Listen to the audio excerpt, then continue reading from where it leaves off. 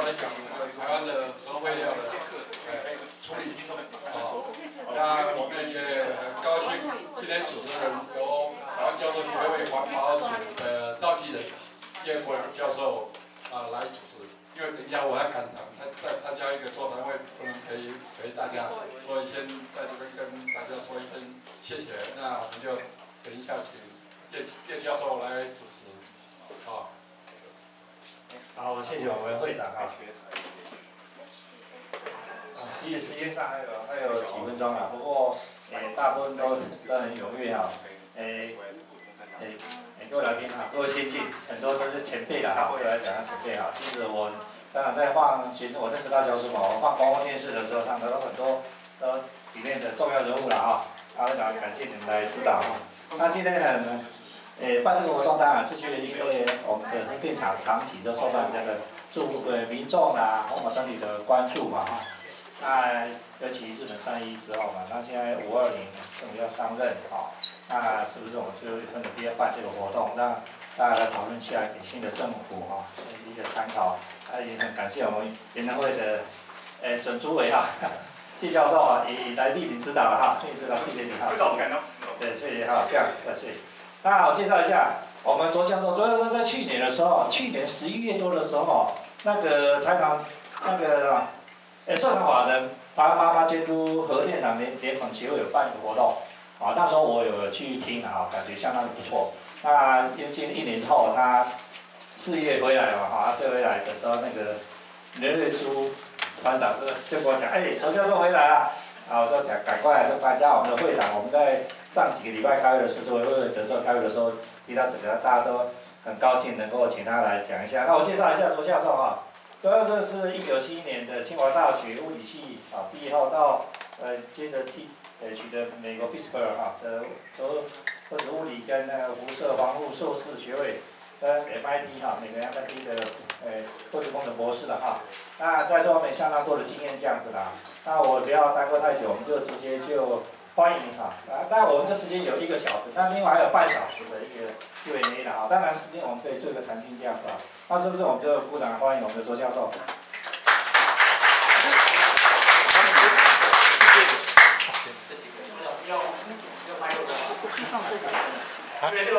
没事没事。非常那个谢谢那个台湾教授协会的邀请，啊，谢谢会长的。非常高兴能够有机会来这个机会跟大家稍微交换意见啊。那我现在我想我还是把夹克脱下来啊，轻松点啊。刚才那个好欢迎的，声音太小。那这个我因为我长期间长时间做美国，所以我对台湾的了解我应该是跟应该说很清楚，我不是很了解。所以我。要给我吗？听到这个，知道这个台湾交通协会这个关系。那他要我讲的，除了我比较熟悉的高阶用户燃料的处置跟管理的问题以外，我对于这个低阶的问题较没有那么关心。那这个教授协会邀请以后，我就先做点功课。啊，尤其对台湾的这些低阶核废料的问题。做一点了解。那我准备的材料，尤其低阶方面跟高阶方面用过燃料的价值储，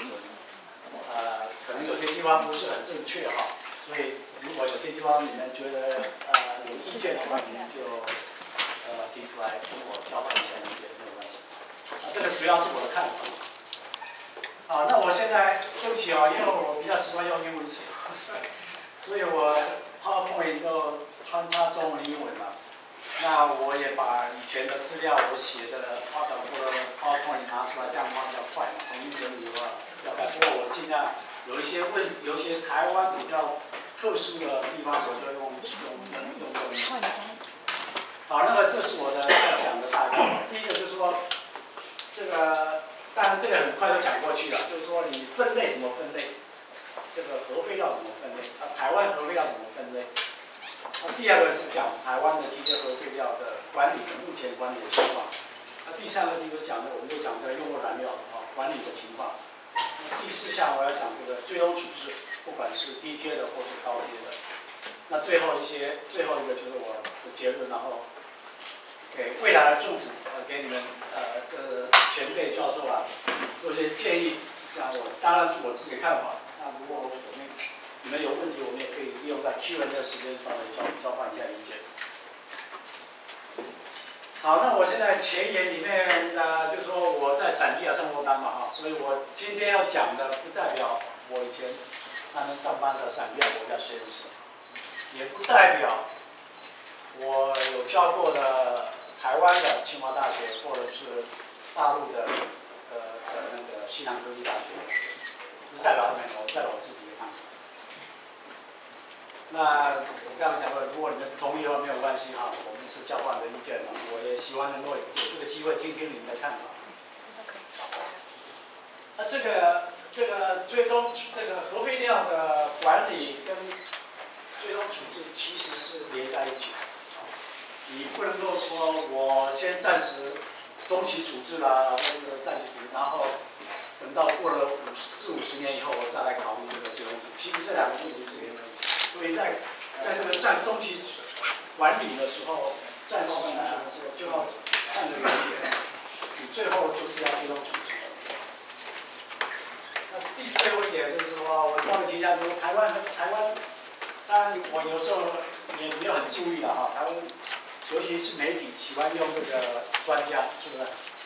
刚刚可能有某些人介绍，不想也搞述，没介绍我是专家啊。我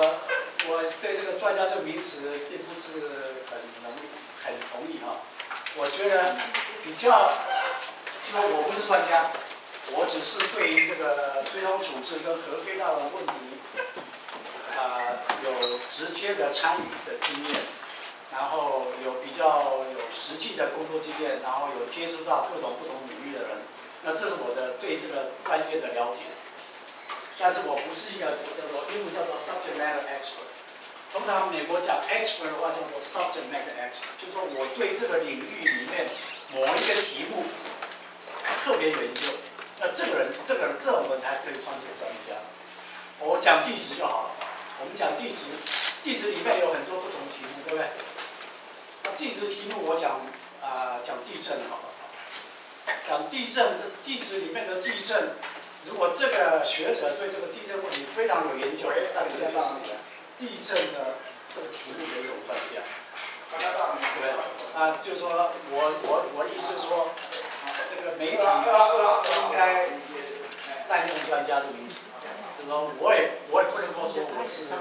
核废料专家，我认为我是对核废料有了解，有做过实验经验，所以你不要叫我专家啊。好，那台湾的这个核废料的的分类方法是跟美国是一样的，就是说根据美国的核废料方法，那就有高阶核废料，那美国有高阶，那美呃台湾是没有这个臭鼬的啊，全型那这个台湾没有，我我想是没有，我不知道啊，呃，我不知道有没有，不过我我是因为超铀情况之下就是在。有核武器的国防设施里面才会产生。啊，美国是有，那我有，我也接触到这个超铀核废料最终处置的这个说不定啊，应该有。那我知道了。另外就是说，啊，这个这两个以外都是，呃，比 C Plus 还要高的，这个这个就是说，美国、台湾的不一样。另外，低阶核废料，低阶核废料呢分成 E、A、B、C。那 A B C 的分的话，就一般来说的话，美国跟台湾分类的话，是根据这个放射性的那个呃呃 concentration，就是说我是每一个功课里面有多少贝克 becquerel per gram，而不是，然后也有考虑到这个碳酸氢，但是没有完全按照碳酸氢来分。国际上来说的话，国际的标准是用这个 IAEA 的标准。大部分国家都是采取这个 IAEA 的方法，就是说它是根据这个核核种的半衰期，看它的要花多少时间，几年以后才会变成把这个半衰期？就是说它的危险性的时间方长，跟它的放射性 echo 啊 echo 贝克的。那这里面从这个方法分的话，它就可以分成高阶的用不燃料的，中间的 intermediate 啊啊低阶的或是半衰期很短的，然后放射性剂量很低的等等。就是说你可以看出来，台湾的台湾的分裂方法是跟美国一样，但是不是跟般的世界上其他国家的大部分的国家的分裂方法。大体来说，这两个分类方法是一样的，大体来说，但不是完全一样。所以说你在处置的时候，最终处置的时候，你考虑的呃的问题就不是完全一样。那我们没有时间讲这么多啊，我是大概这样跟您介绍一下。那台湾的那个的那个低阶核废料从哪里来？我们再讲低阶核废料啊，第一个第一第二个第二项低阶核废料，它的原它的是怎么来的啊？主要当然是台电，对吧？那台电的话，台电的话是估计所有未来的，包括现在已经有，跟未来可以产生的 t 阶跟中阶的，加起来的话，包括小量使用者，小量使用的包括核研究所，啊、一些学校的实验室，啊、工业用的，这个都是少量的，大部分还是台电的。通通加起来的话，如果你包括目前的话，如果说核电站运转四十年的话，台电的估计是大概差不多三十万个桶，二十九万个，包括这个南屿的一万，差不多十万桶，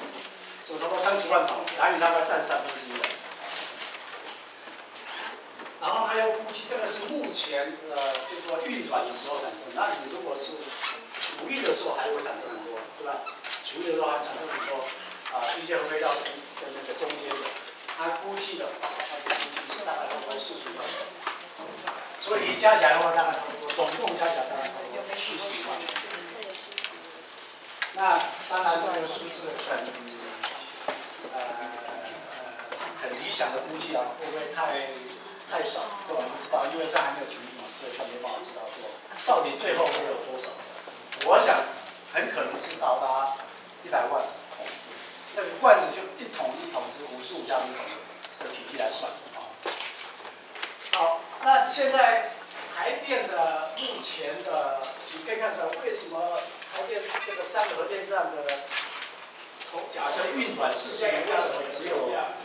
这个一些呃蓝宇这些核废料没有？那原来主要的原因就是说，台电在一九九一年的时候开始使用。一九九三年的时候开始启动这个压缩机，这两个一开始使用的时候，就使得这个这个呃运转核电站在运转的时候产生的机械核废料的量减少很多，是吧？所以它它的，但是南屿的那些机械核废料占总都比较早以前，从一九八二年到一九九五年那段时间。这个台电的呃，用这个呃焚化炉真的还没有开始更新。那我对这个焚化炉的的关心也是最近大概几个月、这两个月比较注意到这个问题。我以前没有想到，我不知道台电有用焚化炉哈。那我在苹果日报写一篇文章啊，我想有的人可能看到了啊。我对这个焚化炉提出一些问题出来，就说台湾的焚化炉是不是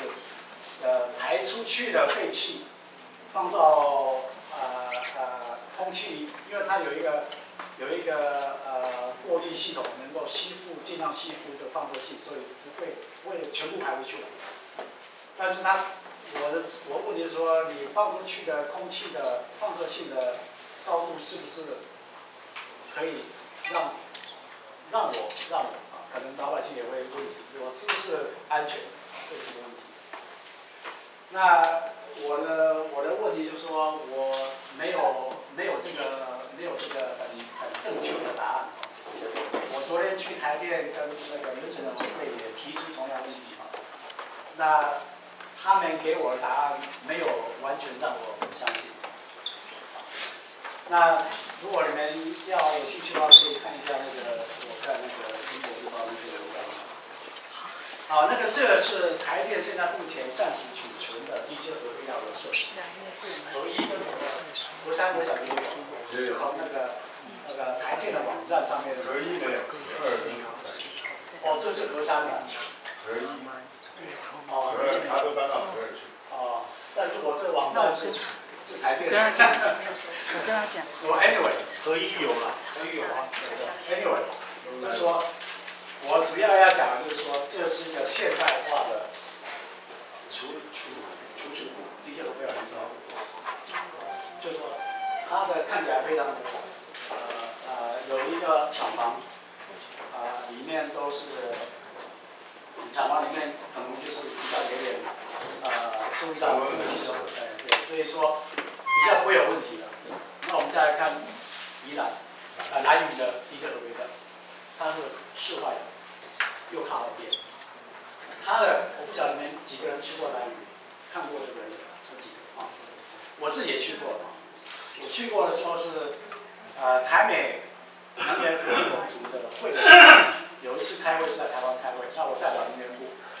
美国因为美国国家我那个国家实验室是能源部的，所以我说代表能源部来台湾开会，他们帮我安排一下去参观的，来我去参观。啊？我又买手了，你们后面听不清楚吗？还是我国语讲不太好？有人听不到，听不到是吧哎？OK OK，那我就我尽量用麦克风好了。没有这样就好。就是如果再远一点，所以我那次去参观的时候，还没有重新叫什么重新包装还是重新简整，检整，而且他们也没有打开那个水泥的盖子，这上面都有一个水泥的盖子啊，他没有打开给我看，所以我不晓得里面的情况，所以我不了解一下。这个以后。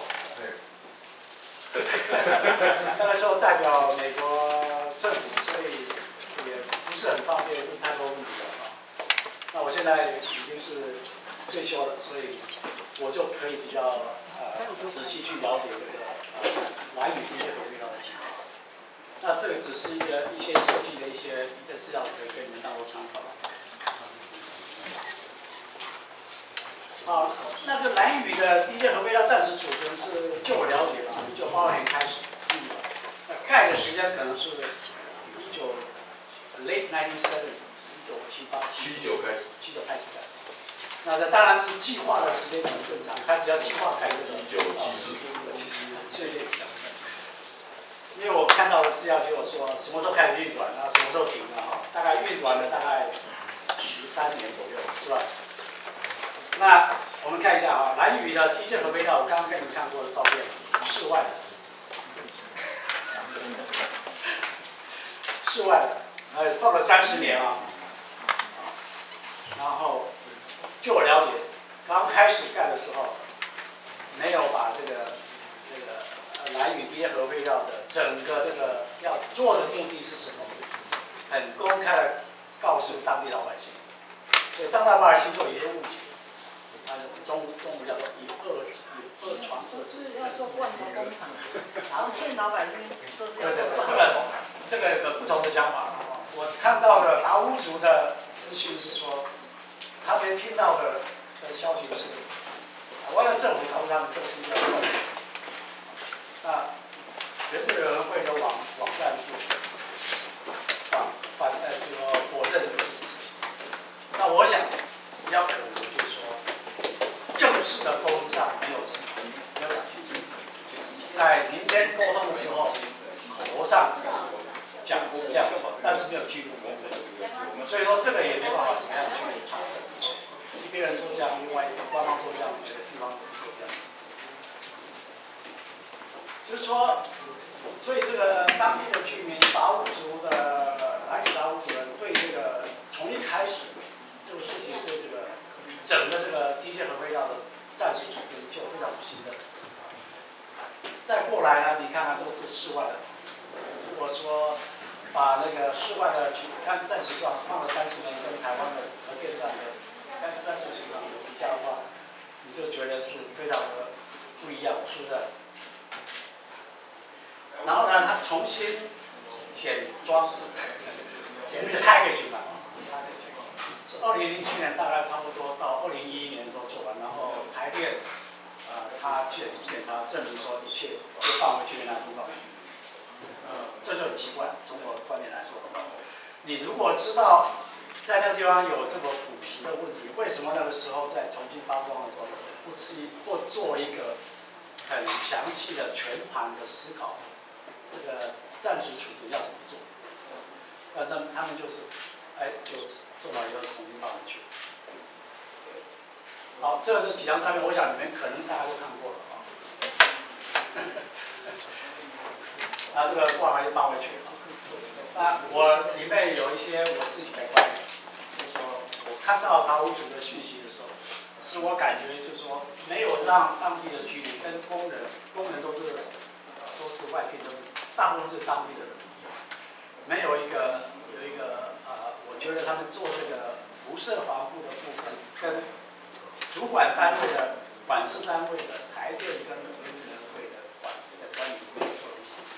让有老百姓跟做这个工作的有信心说，你去做这个工作是安全，所以说一直有一些一些一些地方的争议，所以这个认为说我去做工作使得这个辐射照射等等，所以说这个就是这个信任度的不够的问题，产生各种不同的差异。所以我装完弄完以后，还要重新装进去一样，也是也是失败。所以我看这个来源这个问题的时候，我就提出来几个，说你没有在开始要做这个工作的时候，把整个这个事情呢讲清楚，跟地方人讲清楚，我这个是要做什么，所以就产生一些不相信。所以台电跟原主任我也不相信，对吧？所以，所以这个就是另外呢，后来呃台湾的政府机关也跟当地人有承诺说要搬回来，是不是？搬回来也是没有搬回来，是吧？就是说你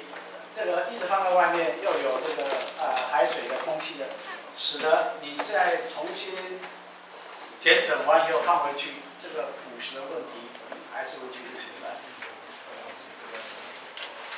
好，那我现在就再转一个题目，讲这个用不燃料。我不晓得你们对用不燃料的的那个暂时储存没有什么概念，所以我就选了几张比较简单，让你稍微了解一下。如果你已经了解的话，那就稍微去再容忍一下啊。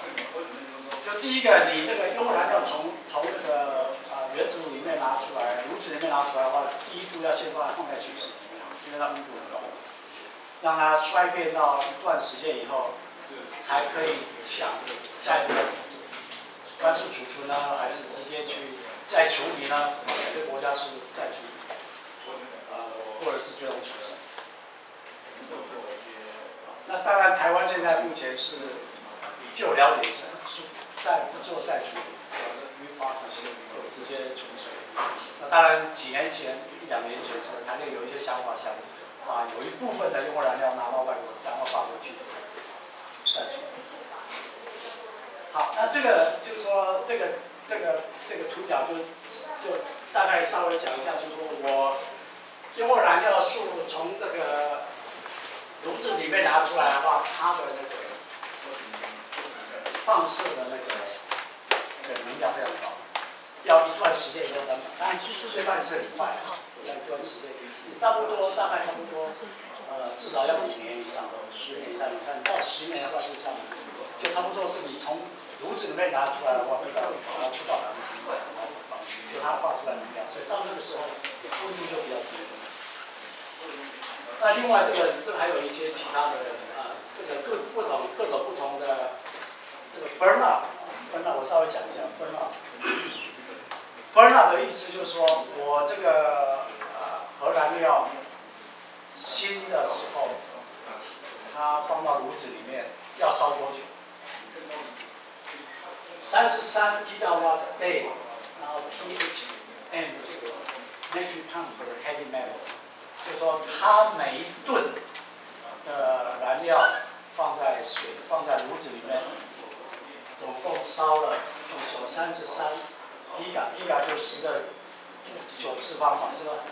就是说花这么多电，然后累的时间嘛，大概的时间里面，通常三十三的话，大概差不多是在炉子里面差不多三年。比较早以前，七零年代的时候的核电站，大概都是一年就一次大修，所以最长的在炉子里面三年，所以最长大概就是三十三一到五那然后一九八零初开始就用浓缩比较高的，浓度比较高的话，它在炉子里面可以发电的时间比较长。这样的话，它大修的时间就可以从十二个月延长到十八个月。那对核电厂的厂商来说，发电的公司来说话是好处，是吧？因为你一发电都赚钱，你一停下来大修就没有发电就没有赚钱。所以，全世界的趋向从一九八零年代以后都是走高高燃量的，就是走到差不多五十几个吉瓦时倍。那台电也是一样，现在都是大概十八个月。那当然，那个十八个月，十八个月乘以三啊，不是十八个月，对不起，就是五十四个月了。就它的，它因为它放进去以后，每一次大修只有拿三分之一出来，所以三分之一最用最久的就是十四个月，三分之一。啊，那个时候三三的话，就是只有用三十六个月。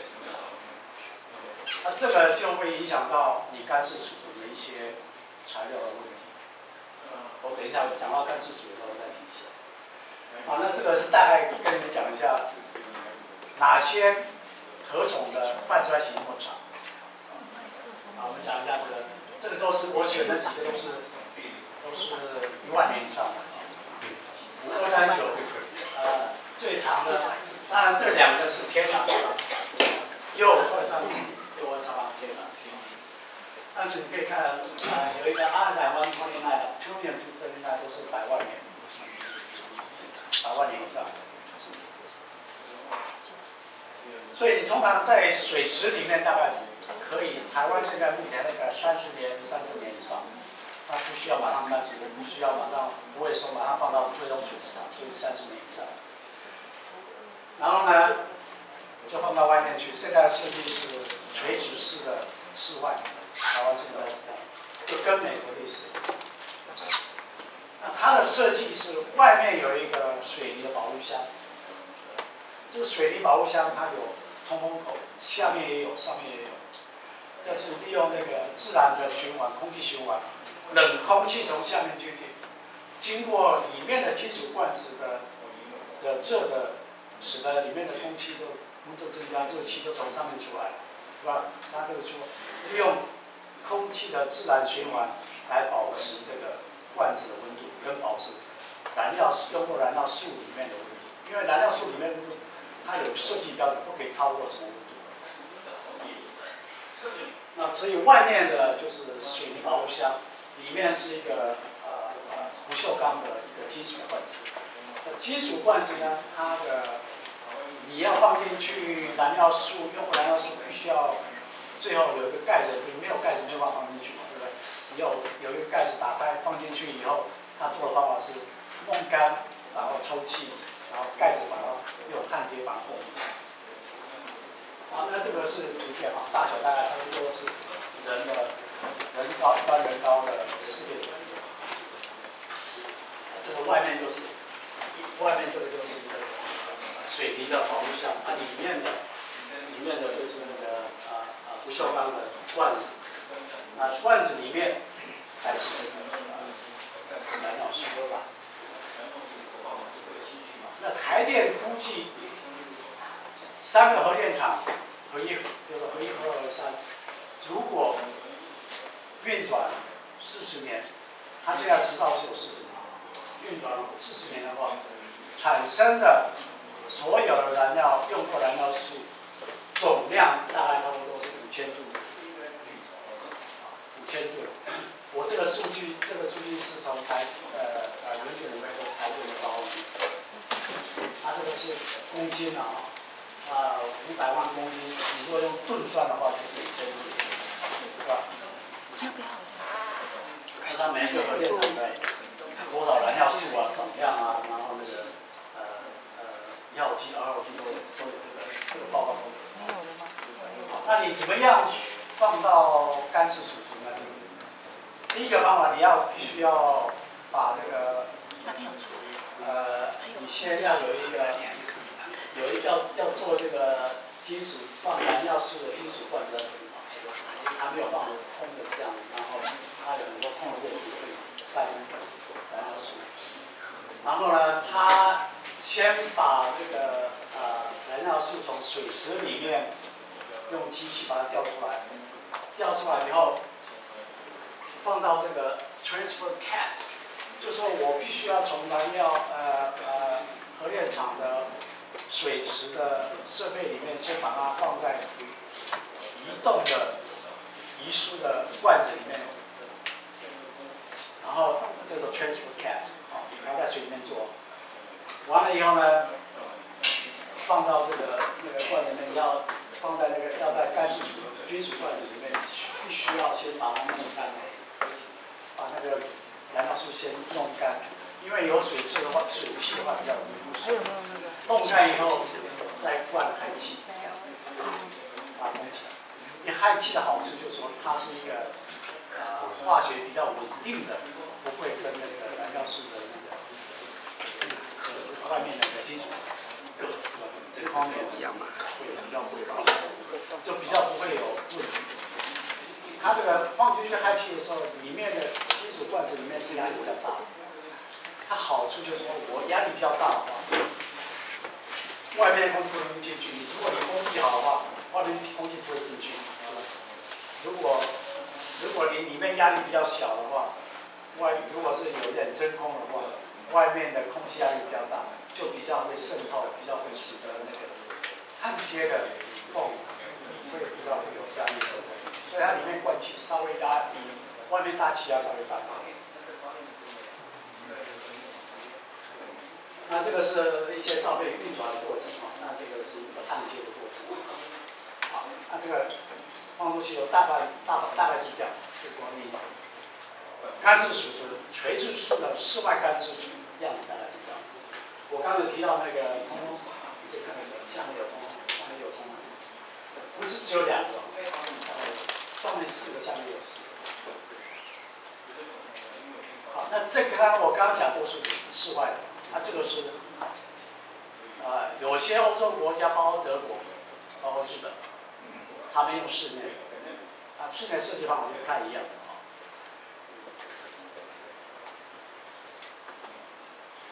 好，那我现在提到一些一些比较技术上的问题，就是干式储存一般性的问题。因为台湾跟很多国家干式储存很可能时间差不多四十年，现在执照一发就四十年。美国 NRC 美国核能管制委员会叫台湾的原原子能委员会这个地方是？当然你要美国核能管制委员会要有点信心，说这个干式储存在储存的时间不会有问题，是吧？所以他刚开始的时候要发这个执照的时候，最早以前是一发是二十年，所以他开始收集一些实验的资料，他有一些。有一些数据，把几个美国核电站的干式储存的选了几个，让它差不多十几年以后打开运到国家美国一个国家太阳好国家实验室打开以后，到热室里面去去检查这个燃料燃料室燃料棒有没有受到损坏，检查的结果很好。这一很一检查结果很好的话，当然是美国不能管制委员会就很有信心，他就改修改这个这个执照的时间时间从二十年变成四十年。好，但是我刚提到这个，这个是那个时候的呃燃料素干式储存是 low burnout 区，三十三个 gigawatt state 的地方，不是后来八零年代以后有五十不到五十个 gigawatt state。所以第一个问题就是说，现在目前美国台电呃大部分国家都是用高 burner、high burner 五十几个 gigawatt state，但这个数据是 low burner，所以数据不是很不是很配合你现在大部分的用户来。第二个就是你的时间只有十几年，是吧？那你如果要延长到四十年、五十年，会不会有？这个目前没有这种数据。所以现在美国呃国家实验室能源部 NRC 队伍在已经开始在做实验，用新的燃料素的 high burner 去了解这个，做很多各种不同实验去了解这个。但是存在比较长期的时间，会不会有什么？会不会有这个？因为你一封起来以后，你没办法看得到里面的呃里面的燃料棒的情形。你不晓得燃料棒空气有没有进去，燃料棒有没有受到损坏，你没有办法看到。你没有一个侦测器。现在目前啊，当然现在也有一些研也在研究。想办法能够用间接的方法去能够了解燃料棒的情况，在暂时处理。不过到目前还没有一个方法能够能够。所以你看不到的话，你没办法很有信心去说这个燃料素绝对不会。对对对。但是你时间到了，不管是四十年、五十年、六十年。总是要把盖子打开，把燃料棒拿出来，放到另外一种不同的燃罐子里面去最终处置。因为这种设计不是最终处置的金属罐子，所以你要总是到后来打开。好，那我们现在讲一下台湾的，刚刚讲那些问题都是一般性的，所有甘肃储存都会面临到这些问题，技术上。那这个是台湾比较台湾的特别。因为台湾的甘肃储存的，现在目前的想法都是室外，场地都是在靠海边，所以你靠海边的话，你这个这个台湾气候带起来的时候都是很潮湿的，然后海风的盐分都比较高，所以这个受到腐蚀的这个金属罐子受到腐蚀的可能性就比在在内陆的的可能性大。那另外呢，台湾还有其他的特别地震啊，或是台风啊等等，下大雨啊，土石流等等，这会不会影响到这个淡水水水质的淡水水安全？那当然，现在对台湾的内部当然就是说，地方老百姓对于这个呃台电或是原能组委会的信任度不够，所以一直在这个挡这个呃我们讲这个。合一的合一干式储存厂为什么到现在还没办法解决？这个地方政府一一一主打，用各种不同的方法去阻挡，那政治人物很容易就关心到这个问题。关心到问题的话，他的出发点是什么样的出发点？这我们不知道啊。不同的出发点，你关心，我关心这个问题的出发点，恐怕跟艺术家的关心的出发点不一样。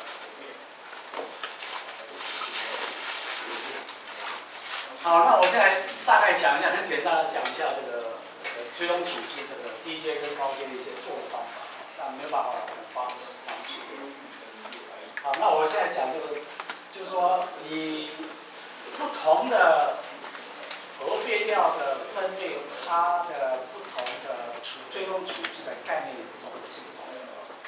那一个追踪处置计划的主要的几个步骤在哪？那估计的你的每一个步骤的时间大概要多长？这是我从我的工作经验跟我的观察的。啊，另外它的，你找到一个处最后处置厂以后运转，现在处理运转结拿到执照之前，你必须要申请执照。申请执照的过程有一个很重要，就是要做安全分析。安全安全分析做哪些工作呢？我大概稍微讲一下。没有没有很多，这个这个这个就要我一讲的话，可能要讲，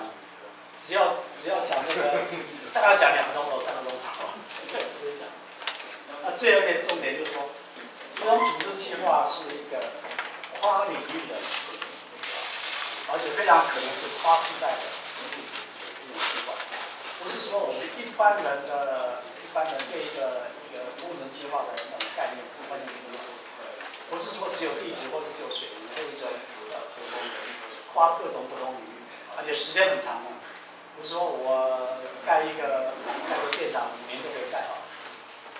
呃，台湾高盖高铁很慢啊，但不过至少也可以看得到十年，是吧？十五年，按你这个的话，可能是四十年、五十年，甚至六十年。好，这个是 IAEA 的一个一个报告里面摘录下来的，就是说我一般来说的话，你这个非常低的的核废料，或者它卖出来期很短的，就是对于对于环境的危害性很低嘛。那你就一般来说的话，你说不定放在核电厂里面一段时间以后，就已经不是一个问题。啊，这个是最简单的，那你就可以直接，假设你可以确定说它这个放射性已经几乎是没有了，或者已经非常非常低，就跟一般的废料处理就可以了。那另外一个就是说，呃，比较低阶的话，大概就是因为这个是地面线啊，地面线。如果是低阶的话，一般来说是离地面大概五公尺到十公尺，然后看你这个地质的特性，可能要做一点工程屏障，但是不需要埋很深的。那下来呢？下来你说是中阶的话，中阶，intermediate 中阶的话，你可能就要稍微埋深一点，因为它放射性比较强，或者是它的它的呃半衰期时间比较长，所以你的考虑就尽量能够离地面的时间比较离地面比较远，这样不会很快就影响到人类的生活空间。所以这个大概差不多是五十公尺左右，比这个低阶的就要稍微深一点。那当然到最后就是高阶跟用户燃料，那你就是要深层地质处置，大概差不多要几百公尺以上，三百、四百、五百，这样目前大概是这样。好，那你要做一个处置计划呢，有几个蛮重要的的动作你必须要考虑。第一个就是你的国家的政策立法，你没有法的话，你这个处置计划推动推不下去，对吧？所以这个最上面就是要有一个立法，是一个标准。我的立，我处置计划是由哪个单位来来负责？管制单位是什么？是哪个单位？我的安全标准是什么？怎么样选厂址等等，这个都是在在这个国家政策里面必须要讲清楚。那当然就牵台湾的话牵扯到立法院，美国的话是国会议院。第一个，当你这个有这个法法案以后，开始选厂址嘛，是吧？选厂址啊，你就要了解一下，我这个国家有哪些可能可以考虑的，我们叫语言是吧？好，选厂址，然后他来收集收集数据。当然，每个国家都有地质调查中心啊，水务的资料，一般的资料都有了。先做一些初步的资料收集，再再去筛选一下哪些比较可能性，再做一些初步的。那这个选场址当然有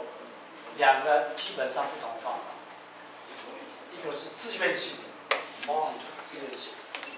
一个是专家性的，有专家来介绍来建议说，我这个国家的专家里面当然就是地质啊等等啊。社会学家啊来建议说，哪一个地方是地质比较适合，哪个区人口又少，啊，再从这里面再去做详细再做一个选择。那这两个都不一样的哦，一个是由地方来自动提出来，我这个区可以来当做考虑的那。这个选好以后呢，还要在很重要，就是说你要做一个很详细的场景。因为这段时间并没有，并没有，并没有很详细的，在在开始这个做的时候，就是初步的了解，没有说很详细场址调查。那这个详细场址调查时间就要很长，说不定有可能要挖一个地下实验室去做实地的场址调场址了解。那这段时间呢，你还要做一些技术方面的的那个发展，比如说要做什么样实验啊，做什么样工程屏障的设计啊等等，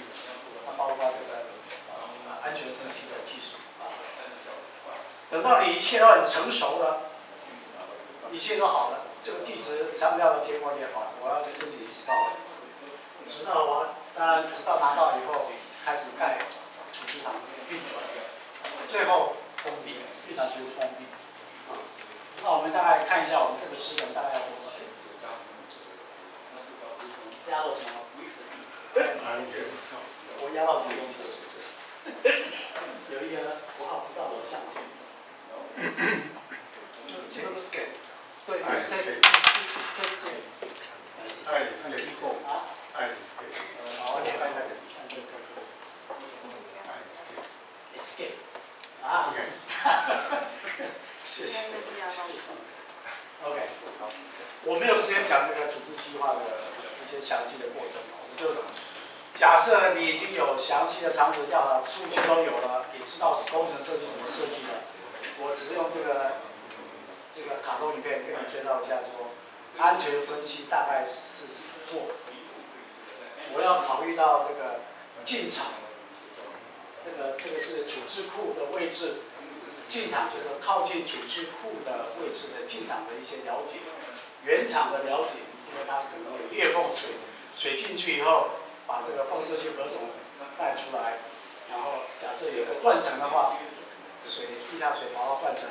然后未来人类用地下水来喝灌溉的，所以这是一个整体的安全分析。那你这个安全分析之前，你必须要有所有的数据，对吧？包括你自己了解水文的特性，这个等等，还有这个化学的特性啊，放射性核素的呃的迁移啊，然后有腐蚀的这个放射性核素从那个用过燃料怎么出来啊，这个就非常复杂，对？这这个就是每一个题目的 X subject matter X，每一个题目都有一个专专门专家在做这方面的研究。那我本身并不是做这方面的研究，我我的工作在。啊，亚卡亚卡 mountain 发现主要是整合，我做的工作大部分是牵扯到这个安全分析的，所以我必须要跟我的团队，就是我下面的工作人员，也有水文，也有地质，也有放射化学的，他们必须要跟每一个每一个 subject matter expert 去跟他们沟通，要他们的资讯，要他们的数据，要他们的模型、他们的概念来来发展这个安全分析。好，那我大概讲一下时程，大概差不多是什么样。你要你要你要这个真正的很很用心去开始发展这个最终处理计划。我刚刚提到就是你要做一个国家政策的方向的决定啊，然后选场址，这个时间可能是几年到甚至超过十年，是吧？然后现在这个 DJ 合肥到现在已经。选场场址条例已经有将近十年了哈，还没有选到一个场址，所以这个时间很难预测啊。另外呢，你光做这个详细的场址调查跟这个呃技术的发展，也是很长时间，可能是十年就几十年时间。申准备申请执照，那有可能的 education，就是说。你在申请执照，那有一些反对团体会告你，是吧？告的过程可能就要经过法院的裁决、裁判、裁决，这个时间可能就会拖长。所以这个时间有可能是，假设一些处理的话，几年到五十年。你运转的话，运转时间是超过十年。就说你要把这个用过燃料通通搬到储值库里面，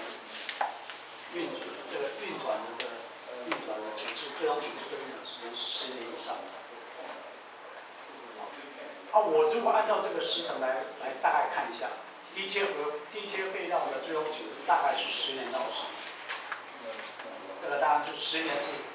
最最最乐观的估计的，二十年可能是比较可能性，当然也有可能超过十年。那如果是高阶的话，可能三十年、五十年。甚至更长，你包括这个运转的话，可能就是到一百年以上。所以我刚刚讲就说这是一个花领域、花时代、跨年代的一种一种问题嘛，不是说我五年、十年就可以做完。那你这个，另外呢，我刚刚提到这个领域呢，非常多种，对，因为这个你要牵扯到这个地质学、地质的了解，跟牵扯到地地下水，牵扯到化学，呃，放射化学，尤其是放射化学、地质化学。那这个呃，跟那个呃 mechanical 你觉得叫什么机械。机械学。机械机械工程啊，机械工程，材料材料的这些，当然核工程也是有一点，但是我觉得核工程并不是一个扮演主要角色。我觉得核工程在这个处置计划是一个一个角色而已，但不是一个主要角色。那另外一个是技术者，就说你怎么样？当然我没有提到这个呃功能评功能评估啊，功能评估不是一个在一个学校或是大学研究所里面没有一个领域叫做功能评估的，因为没有办法区分一个功能评估的一个一个专业，因为他他必须要有具备这个呃跟各种不同领域的沟通的能力，他没办法说对于每一个领对一个特别领域特别了解，他必须要是对每一个领域都能够了解，而且知道他怎么样把它整合起来。另外一点很重要，说我怎么样这个处置计划能够有效的跟民众沟通，因为很多国家不只是台湾，美国也是这样，很多国家都是，你沟通没有办法做得很成功的话，你处置计划或者中中期处理走不下去。所以这个沟通的话，当然是通常这个呃呃科技的专家不太会沟通，是吧？我自包我自己的话，我要跟民众沟通的话，我讲的东西，我从我的概念想的话，跟他们他们想要知道的差差差很多，所以就想办法必须要吸引社会学的，他们对社会社会运动的。他们关心问题是什么？我怎么样去听他们关心的问题？怎么样去跟他们沟通？这个就是要，呃，不是说，呃，科技的专家能够，一般的大部分科技专家没办法了解。当然就是说，这个计划也是要包括这个各种不同的方法，包括这个，呃，怎么样沟通，怎么样这个了解社会的问题。好，这个是台湾的地界和微量的处置计划的选场址的那个。流程啊，这个是从台电的报告里面提出来，我看到那个，我想你们大家都很熟悉吧？是吧？二零一二零零七年，是不是开始公司有可能哪些厂址等等啊？这个流程看起来都很好，是吧？要实行起来非常非常困难，呃，都快十年过去了，还没有一个通知出好，那我现在。这个这个最近我看到一些消息，我想你们大概都知道了啊。就是说，经济部原来二零一二年核定台东达人及金门乌丘列为候选场，是吧？然后呢，原本二零一五年要在台东达人跟金门乌丘两个候选场透过公投选一个，但是台东县长。不会帮忙办公投，然后呢，金门县政府则推脱乌丘乡的公投没法依源，没有法源依据。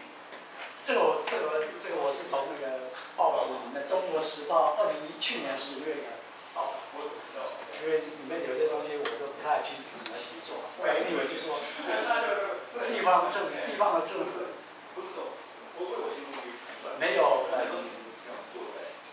呃，就说中央就中经济部没有跟地方政府沟通完，就说我要这个你你们两个地方去卖空，所以当然是地方的政府有很多意见了。那现在台湾的情况就是说，地方政府可以用其他的方法来牵制中央政府的作策。那当然这个牵扯到那个。中央政府的资源跟地方政府，这个这个这个是，你 beyond my above my pay scale，我没办法了解的啊。我就说我跟你提出来这个问题，要怎么样解决，这个要这要注意到。另外呢，台电的这个也是呃中国中国时报的，台电主管吴奈和说，因此才思考仿照荷兰、瑞典等建集中式暂时储存厂，作为低阶核废料处理处。蔡春红就是刚刚下任的主管说，台电承诺明年推动地方政府共同处理低阶核废料终端最终处理，如果顺利的话，预计五年完成建设与搬迁。这个跟我刚刚讲的所估计的时程是差太多了。我觉得他讲这个话就是一直认为这个是很好很好，可以很容易的推推行。那他也认为说，长直调查是很容易可以做的，工程屏障的设计、安全分析很容易在，只要我只要厂址选好以后，我在五年就可以盖好。那我假设盖的时间跟申请迟到迟到的时间算两年，他只有给厂址调查、设工程设计、工程屏障设计跟安全评估只有估计三年。这是非常的乐观的估计。就说我是觉得，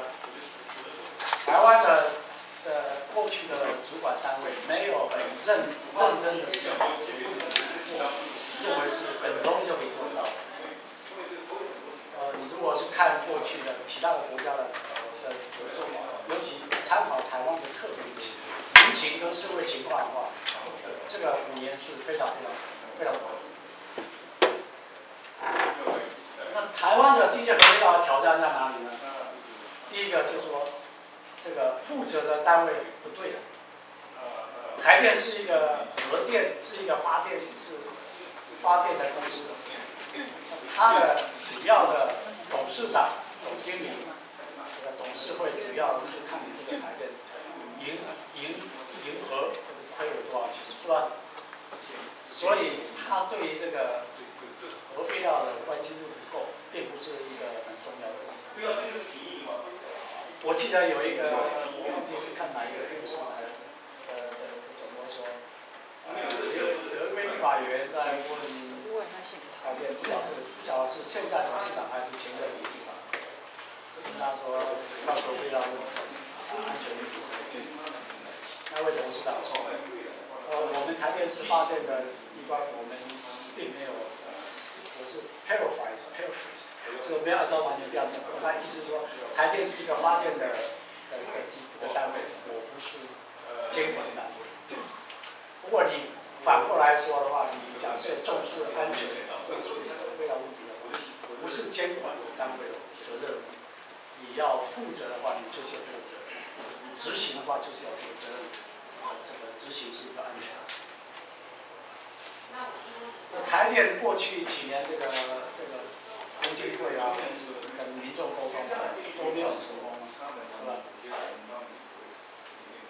所以呢，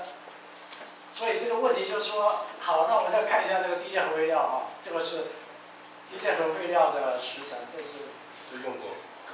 哦，你是刚用过燃料不是，用过核燃料的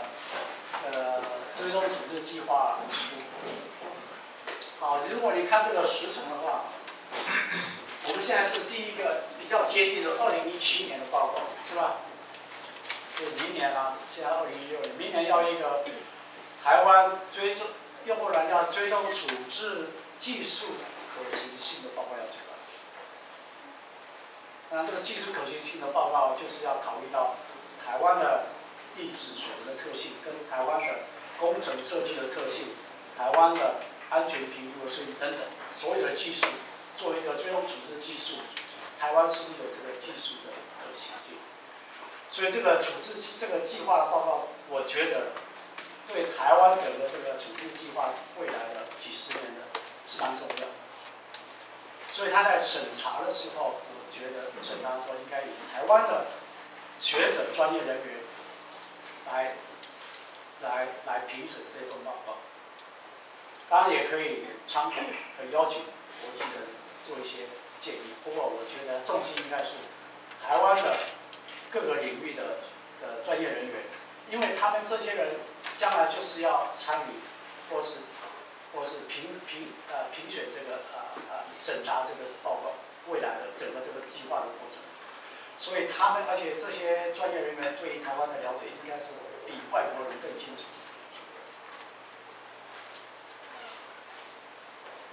好，那这个是我听到我刚刚讲的，那我听到的消息，那我认为说，前一任的原子能委员会主委认为说，必须要把这个二零一七年报告给这个 OECD，欧洲，呃，OECD 不晓得这中文怎么说，有一个 OECD 下面有一个组织叫做 NEA New Energy Agency，它是有很多国家参加这个 OECD 的。不是只有啊欧洲国家，啊那很多，那叫做 Organizational Economic and 经济合作开发。对 and Economic and Cooperation Development 啊，所以呃呃有呃亚洲的国家都有参加了啊。那台湾因为是因为比较特别啊，所以台湾很难正式的代表参加这种国际组织。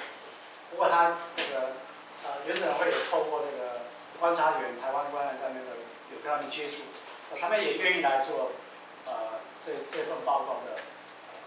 peer review，用到 peer review。那我我有不同意见啊，我觉得这个这个 peer review，台湾这个阶段是太早，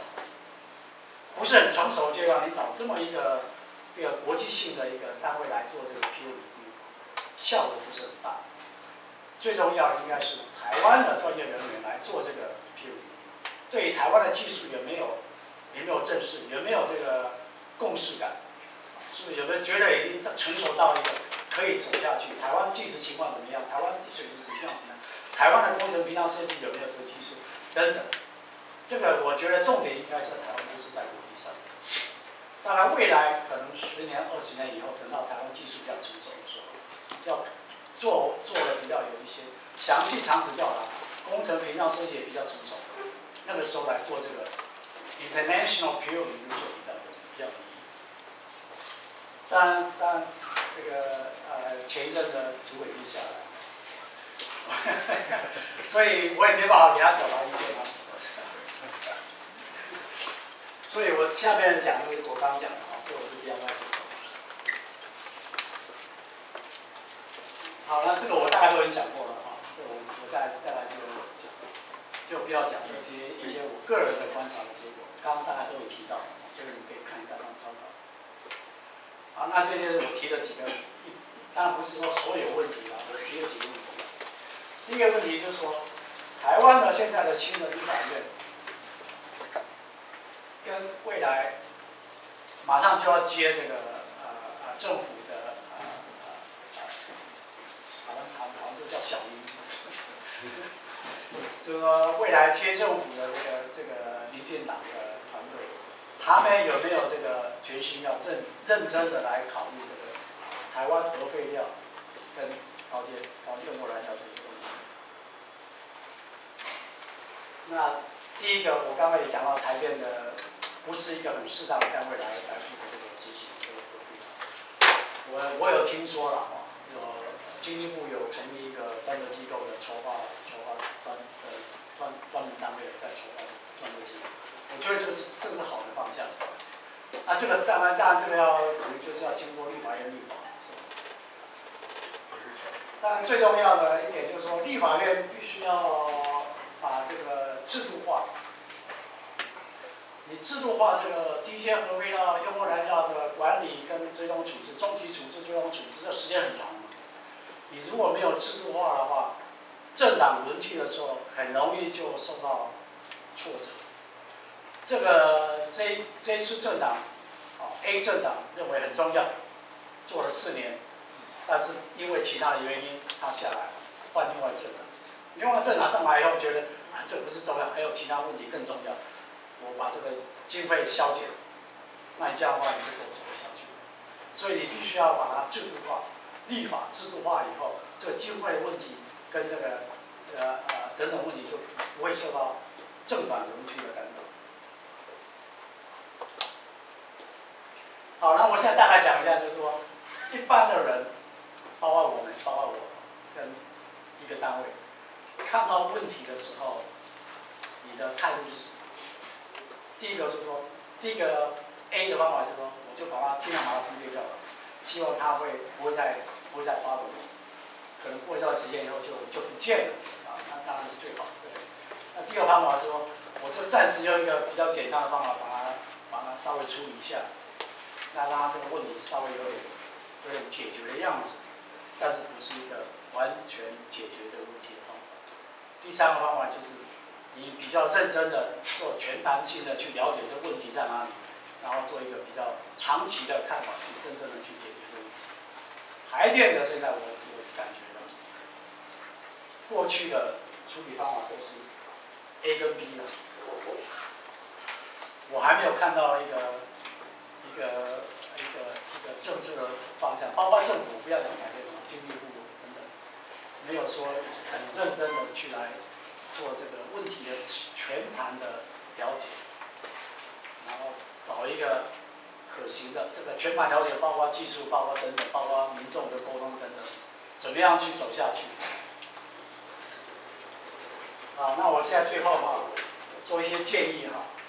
建议当然是给你们建议。我想你们各位专家学者前辈将来很有可能会接触到这些这些问题，或接触到这方面的工作。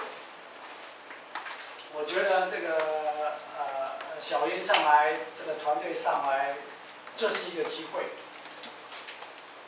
就是说你要一个机会去表现你对这个问题的重视，跟跟民众表表表示这个中问题的重视。然后呢，你真的发对这个问题，当然不是他一个人了啊，下面有一些团队可以帮他。做一个全盘性的分析，然后找出一个比较能够走的走得下去的路子，能够达到二零二五的飞后家园。因为你飞后家园不是说讲一讲就可以做到，还有很多问题，啊，包括这个呃电的问题啦，包括这个怎么样发展这个再生能源等等啊，然后厨艺啊，这核废料问题跟这都接在一起。我的建议第一个是把蓝宇的用过燃料搬出来，那搬到哪里呢？那当然就有各各种不同的想法，是不是？因为你在那边已经三十年了，而且也知道有腐蚀的问题，但是重新包装的时候，并没有真正的要去解决问题。那这个时候就应该，民进党的政府就应该真正的认识这个问题。想办法把这个核废料从南屿搬出来，因为这个是对当地居民的 那种正义，对。另外呢，我觉得台湾就应该考虑干式处理，应该是四年比较适合。因为你可以看到我刚刚提到这些问题啊，将来如果说你现在用比较便宜的方法。做室外干式处理，你过了二十年，甚至可能不到二十年，将来出问题的时候，假设你知道，知道什什么时候出问题。假设你给你知道出了问题，你怎么样去解决？说不定要要花更多的钱。你倒不如这个时候好好的想一下，怎么样去做这干式处理，做的比较安全，未来的问题可能发生问题会比较少。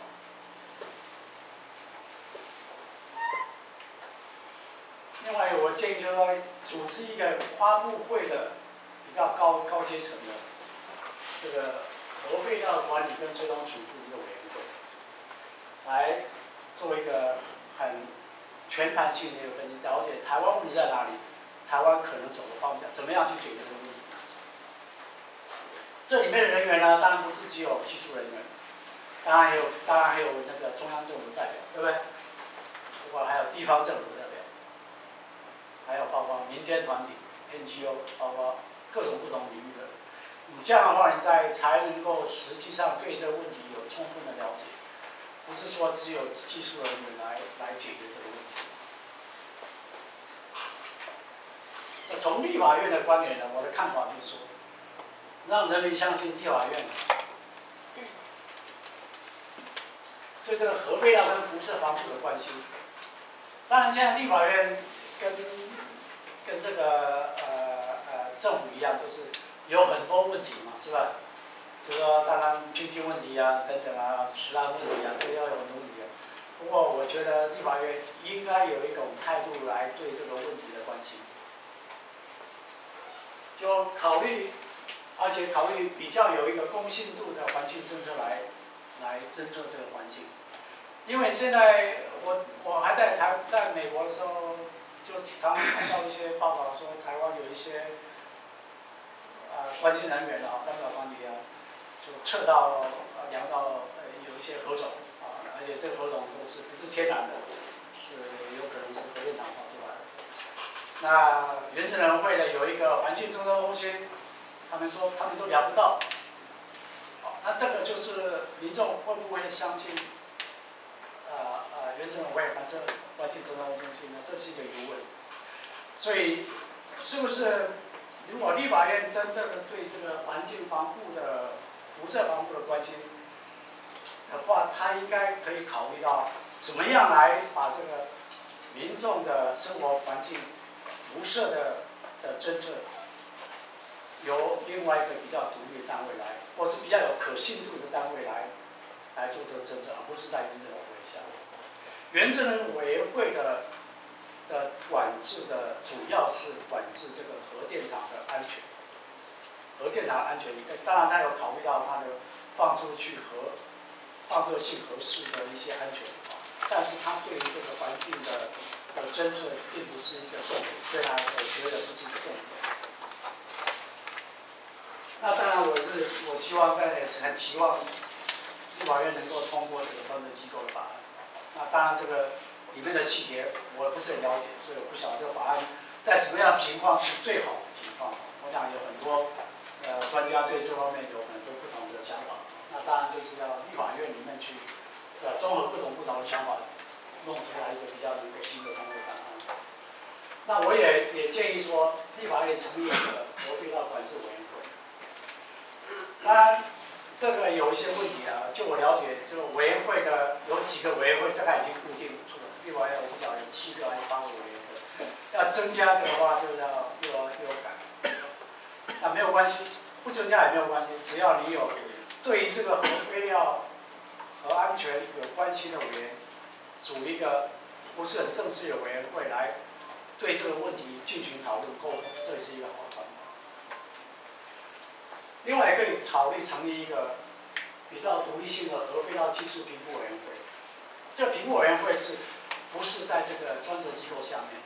这评估委员会是对这个立法院来报告。他不需要说，呃呃，这个是 part time，就是说他可能每隔一段时间来对于台湾这个管制单位、专责机构，整个台湾的政策方向是不是有一些问题？跟立法院提出一个建议，做一个对一个整体性的一种一种呃呃呃审查。那对台湾专责机构呢，我我这个是我自己的想法啊，就是说你必须要有一个不受政治意识意识的影响。那当然就是要制度化，这样你专专责机构的话，不是因为政党轮替的时候就影响到专责机构的。的经费专责机构的操作方向，这样的话专责机构才能够做一个长期的啊几十年的规划跟这个执行。那这里面的话就包括各种不同领域啊，就不是说只有一个领域，认为我认为是有合同公司只有地址，或是其他的领域的专业人员的话，这个我觉得是一个错误观念。就是说最好就是说，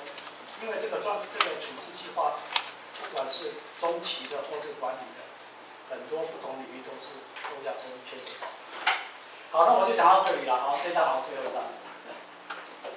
没有问题。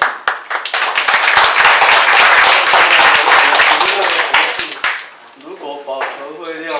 把那埋在那种沙漠，就是世界不是有很多沙漠很大的沙漠吗？像像戈壁沙漠啊，美国也是很多沙漠。那埋在沙漠的话，是不是会比较安全？台湾的台湾没有沙漠。对，我知道台湾没有沙漠。如果假设是我现在是用国际国际来说，有人说会污染地下水，那因为我我我是比较专家请教你。好，那第二个就是我稍微提一下啊，这个第一点就是说你，我讲台湾问题啊，你台湾问题，你要把不管是低阶或是用户燃料高阶，你要运到国外去，这个是一个很大的。我觉得到目前情况，世界的的国情来说的话，没有一个国家愿意这样接受，所以这个是不用考虑的。啊那沙漠气候是不是适合追踪处置？这是另外一个问题啊。不管是台湾没有，我是雅加曼人也是一个沙漠气候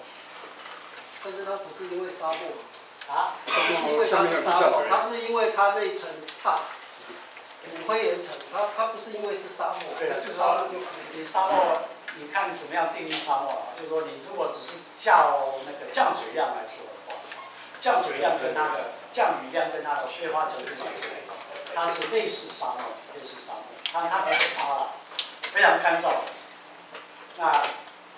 大陆的北山，它地质也不是沙了，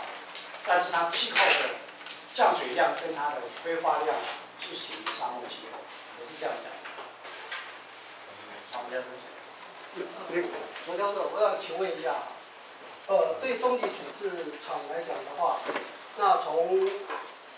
用过的燃料棒要怎样包装，那个包装的设计，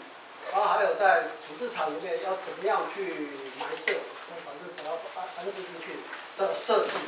这些里面有一个非常重要的呃关键，就是这个核废料埋到那里中级处置厂里面以后，它的温度、它的容器的外跟绝岩层的的界面的部分，它的温度会高到多少？这是一个非常重要的 factor，来决定你要怎么设计。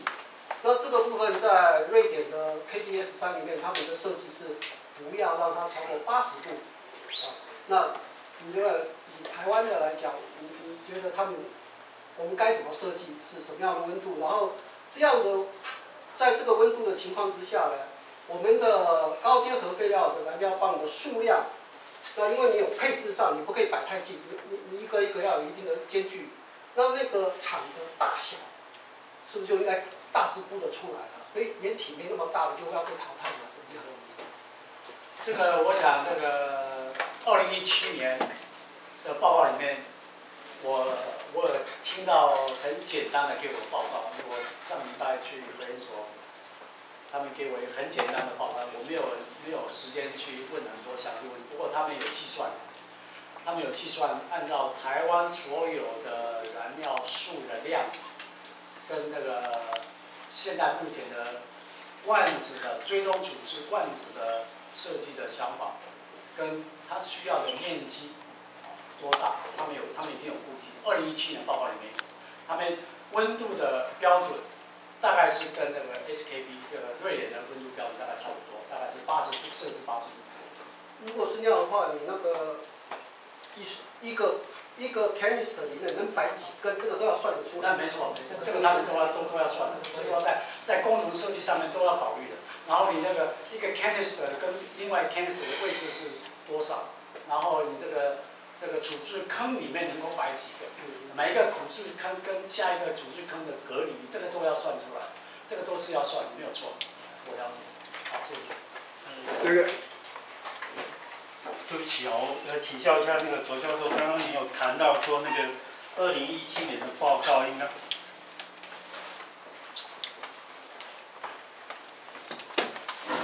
哎，卓教授你好，我是那个烟料网的自救会总干事杨木华。你刚才有提到那个二零一七年的，就是我们的潜在处置母源的那个调查报告，呃，审查应该是找国内专家，可是现在的问题是说。台电公司是跟 SKB 签了合呃技术合定的意向书，那就是呃请他们做一些指导。可是那个报告的基本架构是学日本的 H 十二报告。那在这种状状况下，我们台湾的地质跟日本的地质是比较相近的。那是不是在审查的时候，在就是所谓国际同台审查的时候，应该是朝向，也就是说。跟日本，就是说借重日本的经验，因为毕竟日本也有两个地下实验室的嘛，而且他们的那个今年年初也有一个 safety case 的一个报告出来，比那个 H 十二报告又更进步了。那是这这是第一个问题。第二个问题就是说有关干湿的问题，现在你刚刚有建建议就是说用室内的干除，可是室内的干除是不是那个室内要有一个空调？那空调如果四十年是不是要要维持它跟我们一般的电厂一样，要外在电源不能断掉？那外在电源断掉会怎么样？那其实现在争议最大就是那个密封钢头的应力腐蚀，或 SCC 的问题。那就是因为我们用的是三零四 L 的材料。那现在大家争执的点就是说，在它那个会不会产生那个海边的盐分附着上面产生 SCC 的问题？那其实那可能这里面会牵涉到说，它那个钢桶表面温度到底最低到几度，最高到几度？因为根据美国 NRC 的实验是在四十度到八十度最容易产生 SCC 的问题。谢谢。好，我现在。对你第一个问题的看法啊，呃，我也听到核研所的报告，就是说他们有跟我讲，就是说台电有跟那个瑞典 SK 签这个合作，那他们有帮忙呃台湾的研究两个这个组织计划的研究单位做一些技术的转移。那当然就是说 SKE 这个他们的瑞典的。推动组织计划跟芬兰是整个世界来说的话是走的比较前面的。那当然他们有他们的国情的的的的特点，然后他们的跟当地居民沟通的方法，然后他们的呃呃教育的程度，呃人民的呃知识水平等等很多因素跟台湾是不一样。啊，但是说。目前整个世界来说的话，这两个国家的方法是最终产业计划所做的，最有可能是在未来五年、十年可以实现。目前来说，那当然就说 SKB 在这方面的研发的时间也蛮长，所以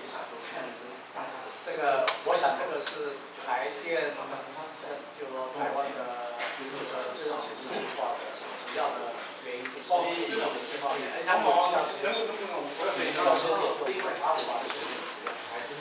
所以，所以这个就是说，在审在审查的时候，要找什么样的单位？世界我我这拿子决定台湾这些出口。那当然也可以参，也可以有一些国际的专家来帮助。但我利用在利用在台湾这个评审单位来审查这些报告。这个国际的。的的那个呃那个专业人员来帮忙审查，他们我觉得他们提供的呃那个可以帮忙是从他们的国家或者国际上面的的看法来对台湾做某些建议，他们没办法对台湾的历史做特有个性的做一个讲解。像日本，我觉得日本是一个日本在这个技术上面来说呢，我觉得还是比台湾前进的。大概我不晓得几年了啊，至少比台湾前面多了。他们有比较有呃基本的一些研发的实验室，研发的经费给台湾一大多，所以他们这方面就做的比较扎实。所以说，如果当然台湾的地址有些部分是跟日本是比较接近，所以如果在这个国际上面的专家来来提供台湾某些建议的话，我想这个是一个也是一个好项目。那有关这个干式储存的的室内室外的争议嘛？啊，当然我提到我的建议说室内考虑室内嘛。那室内就是说你也是要考虑到这个呃呃呃散热问题是吧？散热问题的话，除了考虑到空调以外，你在设计的厂房的时候也要考虑到，假设没有空调的时候，你还能够保持。空气的自然自然循环，这个可以做得到，是不是？也是也是类似用这个这个烟囱的这种概念，是吧？我有我没有空调了，没有电了，但是我还是有利用天然空气的自然循环，来不会使得这个这个干式储的罐子会超过。那个，我请问一下，那个呃，低阶的这个会核废料啊，在找这个储存的地方都已经这么困难了。那么高阶的，即使说，我，高阶的时候，即使说这个啊干式的时候可以没有问题啊，五十年没有问题。那五十年以后怎么办呢？因为台湾你台湾这个这么小，能够找找出一个适当储存的地方，恐怕都大概已大概已经知道说可能不可能的啦。那你说干式的说，即使干式的现在啊、那个新民四四五都都在反弹，说哎呀你放在这边他他也不愿意啊，对不对？那你啊，就是说这这个问题解决了，但是五十年以后你怎么办？你说这其实说干式可以放五十年，那那这个以后怎么办？所以我期待说有这个五十年后有新新的这个技术能够呃利用这个核高级的核废料吗？还是怎么样子？嗯我了解你的你的关心啊，就是说，我刚刚讲说这个二零一七年呢，我认为是一个蛮重要的一个一个里程碑了，对台湾这个追踪用户燃料追踪处理计划一个很很重要的里程碑。所以我我一直强调说，台湾的学者应该是尽量把台湾的各种不同领域的专业学者来来审查这个这个报告。如果说我不我还没有看到这个报告，所以我现在在报告要准备。如果说这个报告认为台湾包括外岛，台湾本岛跟台湾的外岛，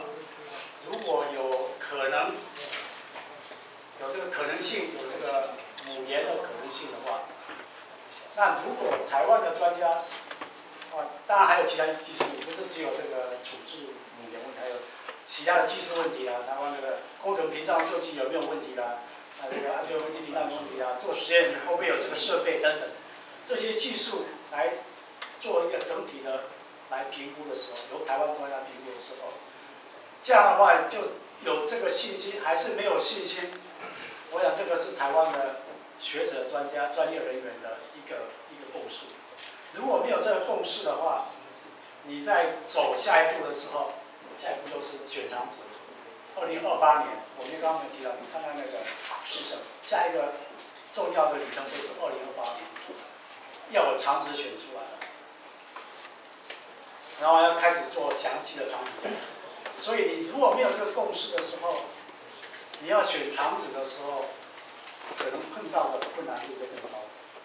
厂址这个台湾这么小，这个厂址大概寥寥可可数吧，可不可不可？你看这一点不是已经他本来找到什么地方嘛，后来也觉得说不太妥当。那那那之后这个这个可厂址可不可行呢？我想不必说等我台湾的学者，国际上就有很多人研究说这种厂址放不放心。美国是也是有这种人都知道，对不对？啊，不不必被等到台湾的了。我想，我想这个问题呢，哈，这是台湾自己制造的问题啦，啊，这个问题也已经制造了，所以我们一定要解决啊，对不对？不能讲说没有地方啊，啊，没有地方就就不解决，那怎么办？那就丢在那边嘛，不行。所以对对对对对，这是问题。对不对？对。那这个就是说，我认为啦，哈，第一个我想讲的就是说，我认为，现在就是要开始来讨论，然后好好的，刚刚怎么跟居民沟通，怎么政治上怎么那个，就是公开的这样来讨论，而不是一方面单方面这样再来再再处理，说偷偷的去处说去讲说啊哪几个厂子或怎么样，这个就整个公开来来讨论，这个是最重要的了，公开是最重要的了，好让大家了解，但是大家心里要有一个底，一定要解决，一定要解决，这个这个是这个是我们台湾现在面临的问题了啊。那我想谈那个周教授你的建议了哈，核废料专责机构了哈，这个其实我台电就一直希望这样子了，台电就一直希望这样子，台电就是说希望希望去弄一个专职机构呢，然后他就把整个问题全部丢给丢给这个专职机构啊，也能会全部把整个问题丢给专职机构啊，对不对？那现在一个问题就是说，我们如果成立这个专职机构，好，那第一个它的 resources，它的资源从哪里来的？你要去盖，你譬如说好选厂址选好了，或者是说在研究怎么找厂址等等啊，要去盖盖这个，政府政府要出钱是吧？当然了，现在有一个后端后端基金啦，两千多，我我如果没有记错的话是两千多亿的，这两千多亿还要有一个厨艺呢，这个所有的核电厂的厨艺呢，好，这些东西好，在我不知道在美国会怎么来处理了，因为美国比较好的情形是什么？好，政府盖一个盖一个这个终止处处置计划，可能你来我一桶要帮你收多少钱，对不对？好、要不然啊电力公司就要付嘛，对不对？或是从他本来的那个我们类似的和后端基金就要付嘛，对不对？啊不够的话，公司就要付嘛，对不对？那台湾现在不是啊，后端基金已经在那边了。好，那除以花掉多少钱，然后接下来厂子的部分，厂子的部分再来再来处理的时候，那这个钱不够的话啊怎么办？是我们前我们现在一直台电一直在很 proud 的跟我们讲说，你看核能发电呢是是钱最少的，结果呢最后是我们还要再付一堆钱去帮他，就纳税人还在付一堆钱去帮他帮他处理处理处理房子，对不对？好，那你如果说一开始你电票的时候，譬如说他现在电十五块，对不对？他一开始如果来收五十块的话，那一些大财团用电用最多的，对不对？他本来就是要付更多的钱啊，就现在是全民大家平均分分担来来处理这个事情，来处理这个钱，那这个在公平上，不要走来走去好不好？我是觉得，我在这里顺便跟年轻人稍微教育一下。刚刚很多年轻人走进来就走进去这样子，人家在演讲，吵到人家这样子，哎，对不对？哎，我是觉得这个钱能够解决问题不是问题的，不是说钱的问题，真的是台湾能够有有那个呃进进入的这个这个核废料都都找不到地方啊。再多有钱，好了，这个这个这个，好，我把我把这个问题讲了，我把这个问题讲了，好，钱不是不是问题，这个我 你一定要处理的问题，好。这个跟跟卓教授没有什么关系，问题就不要在这边。那个就是说，我现在的意思说，现在这一在美国哈，他们用什么方式？那、如果钱不够的话，譬如说，他们现在核废料都在核电厂，那核电厂可能核电厂是属于电力公司的吗？对。好，那电力公司的他如果到最后，如果说他的厂址弄好了，然后要存进去的时候，要存进去的时候，钱如果不够，他们核电厂钱如果不够的话，那他们怎么处理？我我告诉你啊，我跟你讲一下美国情况啊。哎美国情况跟跟中跟他们不一样。哎，美国的核电厂都是私人公司，所以它除以是核电厂私人公司要负责。这样。除役是私私人要负责，跟国家没有关系。哎，是的的，好，那公司还在吗？啊？除以以后，这公司还在吗？他公司还有和其他的发电厂，不是说只有核电的。哦，还有其他发电厂还，有那跟台电一样啊，跟台电一样啊，那这样跟台电一样啊。那台电是公家的。对，但是他现在也是民营，他也是是啊，我在讲台电还没民营就是说我讲厨艺对是由美国的私人电力公司要负责，他自己在盖核电厂的时候要准备钱，要准备好，要要去除役。好，那如果他钱不够除役的时候，必须要这个核电这个电力公司的钱拿出来去补这个。好，那那现在一个问题，厨艺的部分比较好去处理，对不对？对，干式储存，美国立法的时候是一九九八年，国会立法的时候，一九九八年所有的用户燃料是从核电厂的私人的核电公司的责任对，转到美国能源部。哦，九所以八年的时候，所以被公家出钱了。没有，就是说他在在立法一九八二年立法就是开始收这个后端基金。对，就像我们现在这样。后端基金的用途只是解决追踪处置，不是这个干式储存。只有这个后端基金的用途只能用在追踪处置的。然后干式储存原来是九八年，原来美国核电厂并没有想到要做干式储存。对，好，直接要用到直接去给能源部去负责追踪处置，所以他一干式储存开始花钱的时候，他就告美国能源美国政府，所有美国政府都输了，都输了。都输掉了，哎，所以美国政府一直在赔钱，所以他现在能源部的未来中期的方向，哎，因为在亚卡山已经暂时停止，对，所以中期的方向是盖一个集中式的中期干式储存厂。把核电厂的用过燃料，慢慢的搬到中级处理厂去，因为他不晓得什么时候才能够有最终处置厂，这样的话他就可以减减少未来的可能被告出的一些费用。好，那那这这个意思说，政府最后是 take all responsibility 就对了，他的那个 cost take all cost，就是说全部。你是说，如果这个他负担基金不够的话？对对对对。如果后端基金，现在目前的后端基金是够的。但是他还没有做最后集中最后的集中的处置啊。没有错了，就是说按照目前他们的计划的，什么叫 life cycle cost？哎哎，好，那我们是不是要接受这个？这个是我们现在环保联盟啊，台湾环境保护联盟一直在思考的一个问题。我们是不是要用政府的钱来来帮他收拾这一个东西啊？对不对？因为我们后来就是刚刚讲的，你现在亚康邦城也停了嘛，对不对？然后这一个集中处置厂不知道花多少钱呐？这个我们我们我们现在是一个是是一个我们不知道的的问号在那边呢。那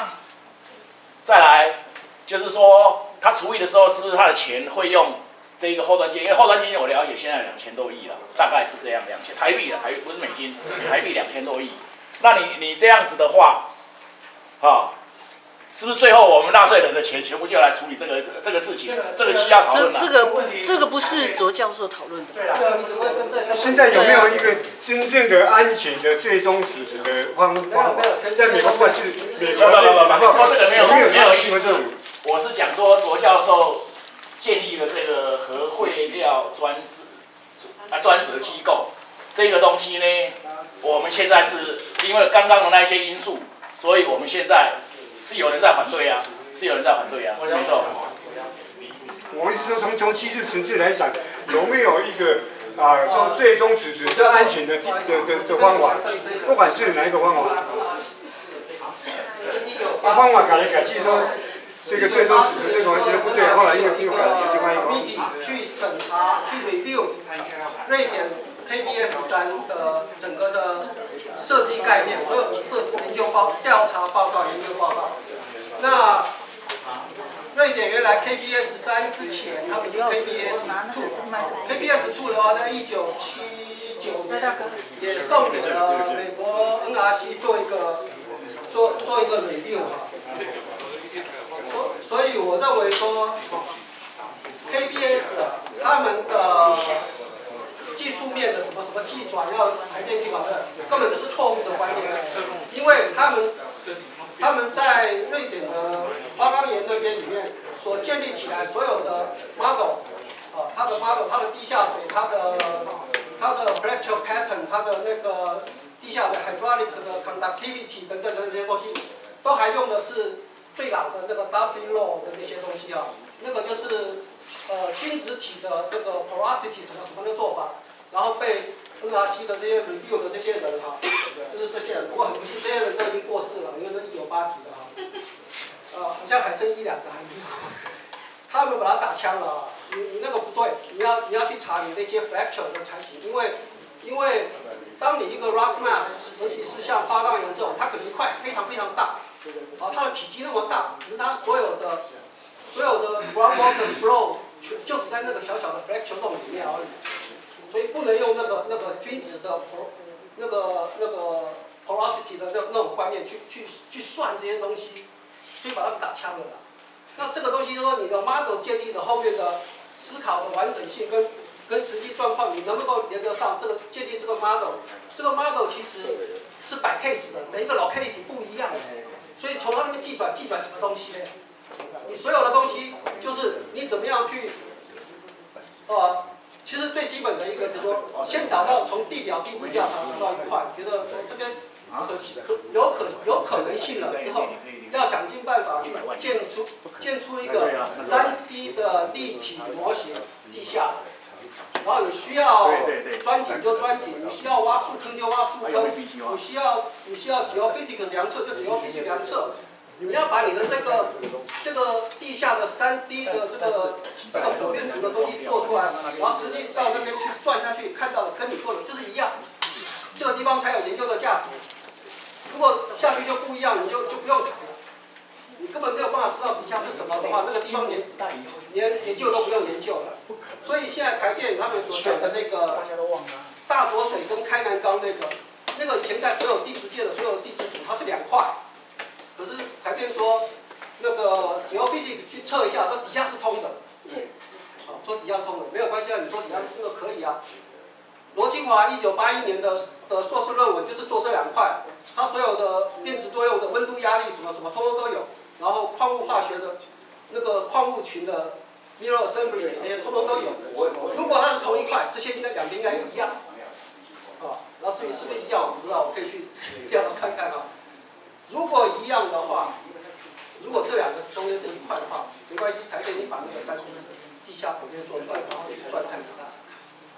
这是这是很简单的，这一关没过，后面就不用做。好好，谢谢谢谢。我稍微提一下这个，我听到核研所给我的报告，我上礼拜去核对，他们给我大概有两个钟头时间而已啊，所以时间没有多。你刚刚提到这个 SKB 的技术转移，他有我有问他们技术转移重点在哪里？对对。那有一个重点就是你刚刚讲到的 fracture network 啊，这个如果你不是学这个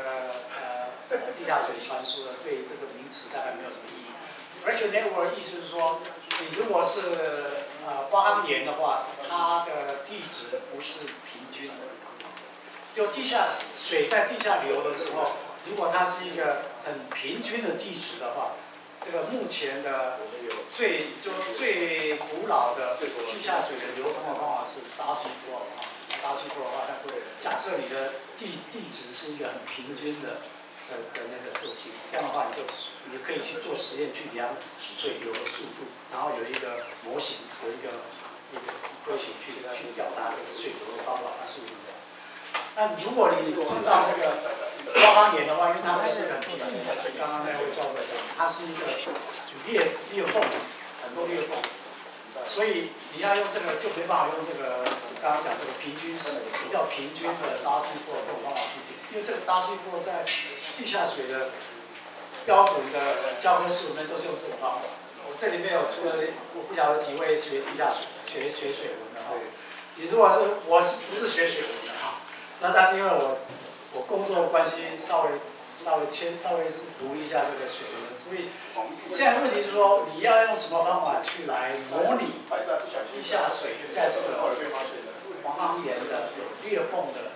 方法去模拟它地下水流的方向，怎么样流？那这个问题都是一个一个基本，刚刚那位教授讲，这很基本的问题，你怎么样去了解？那这个了解的话，就是一个牵扯到很多技术上的问题。你怎么样去去去表达我这个裂缝的分布情况怎么样？裂缝跟裂缝之间有没有接起来？接起来才可以流，所以从这边流到这边。你如果这个裂缝没有接的话，就不会流过去。那但是你不管你挖多少井。你做多少实验总是有限的，因为你要去模拟的范围面积非常广大，就是从这个储湿库到可能的人未来人类的生活范围，可能是这个范面积体积可能是好几十平方公里或者几好几百平方公里，所以但是你做的数据非常非常有限，你挖几个井，你挖一百个井也是一点点而已。所以你怎么样从这个有限的数据去把它推广到这么大一个模拟的范围，这是一个一个统计上的一个问题。当然有很多学者有在研究这方面，但是总是会有质疑的的的那个的的地方在这里。对你质疑，你不管你怎么样做统计，怎么样分析，你的数据总是有限，所以你对这个这个这个。这个从这个有限的数据去扩展到这么大的模拟范围，你的可信度多高？这是一个问题。将来就是说，假设台湾是选的母岩是花岗岩有裂缝的，这是一个就是一个争执的问题。那这个就是要需要台湾的有这方面的专家有个比如办法达到共识？假设台湾用这种方法去模拟地下水的流动方法跟放射性核素的迁移的过程。那台湾的这方面的专业人员有没有这种共识？有没有同意这个模拟的，就是 upscale 从一个有限的数据把它模把它扩展到这么大的一个？除了这个以外，还有其他的问题了啊？其他的不是地下水。我讲一个，就是说我做实验，你腐蚀的，你要了解这个罐子，我们讲铜的，SAB 是用铜的，铜的腐蚀的速度只能做个五年十年吧。你一个计划能够国家计划给你做十年，大概很好了哈，很难了哈。我想你们这位很多教授前辈都有跟国家申请研究经费嘛，通常是大概最多给你五年嘛，是不是？但是你做实验做五年够不够呢？我做这个铜的铜的罐子的是要了解几万年以后是不是会有，但是你做的实验可能是五年、十年，最好二十年、三十年。如果你做了几代，你下面的学生帮你继续做下去，继续有经费的话，做个五十年，那很好。做五十年，那你还是跟一万年、十万年、几十万年比起来是非常有限，但是你没有办法，对。因为你没办法做那么长的时间，没办法去验证我这个储湿库的安全。我讲这个腐蚀也是一个例子啊。啊，没办法的时候，按照目前的科技的了解，我只能做到五年、十年，用这个有限的数据来推测、推广到几万年以后的腐蚀的速度。我们只能这样做，我没办法等一万年、十万年以后。我们人类的历史都没有那么长，所以说这个就是在沟通的时候，就是必须要跟跟一般老百姓说明清楚。我没办法做那么长时间，但是我有这么多数据，我怎么样去做安全分析呢？对不对？但是我目前我们有技术都这样，所以我只能用这种技术方法来推测未来的安全的情况。刚刚跟刚刚那位教授讲的，地下水冲这个是一个很大问题，腐蚀也是很大问题，何种迁移也是一个问题。将来人类的生活方式也是问题，人类生活方式跟我们现在完全不一样，不一定啊，对不对？但是你没办法预测十万年以后人类的生活是不是跟现在一样，不知道。我们都没办法预测五年以后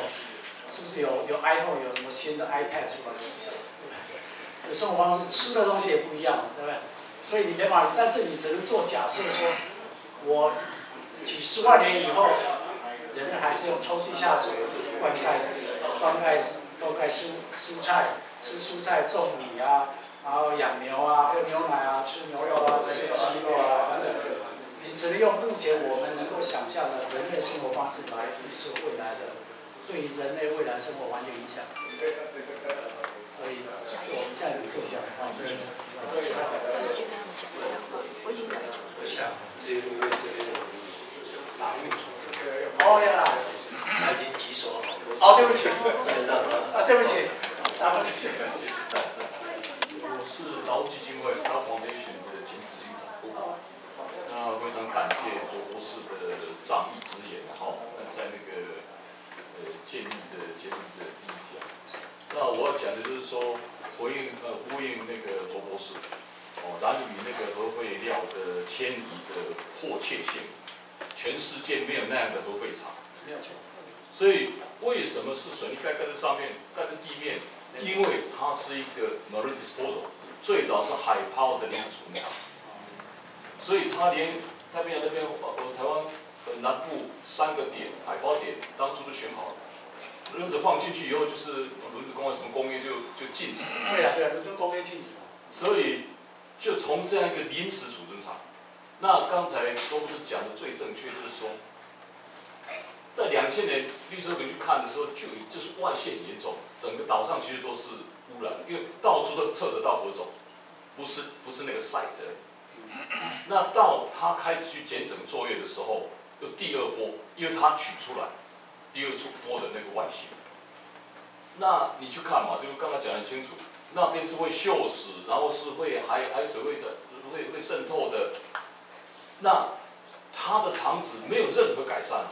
所以它本来的设计就就不是一个可以，它连战村厂的规格都没有，它是连遮风避雨，就是用比喻的遮风避雨的破草房都不如跟那个五星级的饭店那种，所以你刚才看的合一合二的，哦，那我们在二零一一年的年底有到台湾抗争啊。就讲说，有发一个一个一个一个声明，就是说，小岛对大岛的良良知，这是我们共同的岛屿，不管是小岛还是大岛，所以我非常感谢中国是仗义执言，哦，事件没有那样的，而且状况完全没有改善。二零一三年卫生署公告，南屿是全台湾癌症死亡率最高的乡，就是这个也是名列前茅啊，啊这也是天方夜谭。哦，虽然这个问题在刚才从一开始大家大家虽然看到你放在第一个，但是大家不讲话，因为那个好像变成边缘化了 marginal。原住民的边缘化，包括这样的地铁边缘化，还有现在让高阶被提出来，那高阶的解决它遥遥无期，但是这样做得到的事情，同时也是新对新政府、对新的主委，哦，对台湾的这些朋友，哦，大家做得到、看得到的。如果这个都做不到了，那台湾还没有准备真正去面对哦进入核废的时代。哎，好，谢谢。感谢，还有。好，谢谢。我有一个朋友，我有一个简单的问题啊，就说，我有拜托过有沈迪尔在啊替台湾准备的一个报告，啊几年前是最后一个作者，好，那我的我的感想是这样的，就是说你在美国，你可以找到一个方圆一百公里可能都没有人的。地方，对，可是台湾不一样。嗯，这是我常常跟这个这个这个 Les Shepherd 的时候，也是算是你的主管，也是我的同学啦。就是我跟他讲说，台湾跟这个美国不一样，所以你要用那样的报告来引用到台湾，可能会有问题。所以我非常同意你今天所讲的，哦，就是说。其实我归纳几句话，就是说，你今天所讲的事情，就是说，自己的核废料自己要处理，对不对？然后我们这一代制造出来的核废料，就是我们这一代要承担的。对，不要再推脱什么，哎呀，去找国外啦，去什么什么，那些都都不是办法。不过我非常同意你啊，就说你刚刚有提到说，四年内。赶紧先解决这个这个低阶的，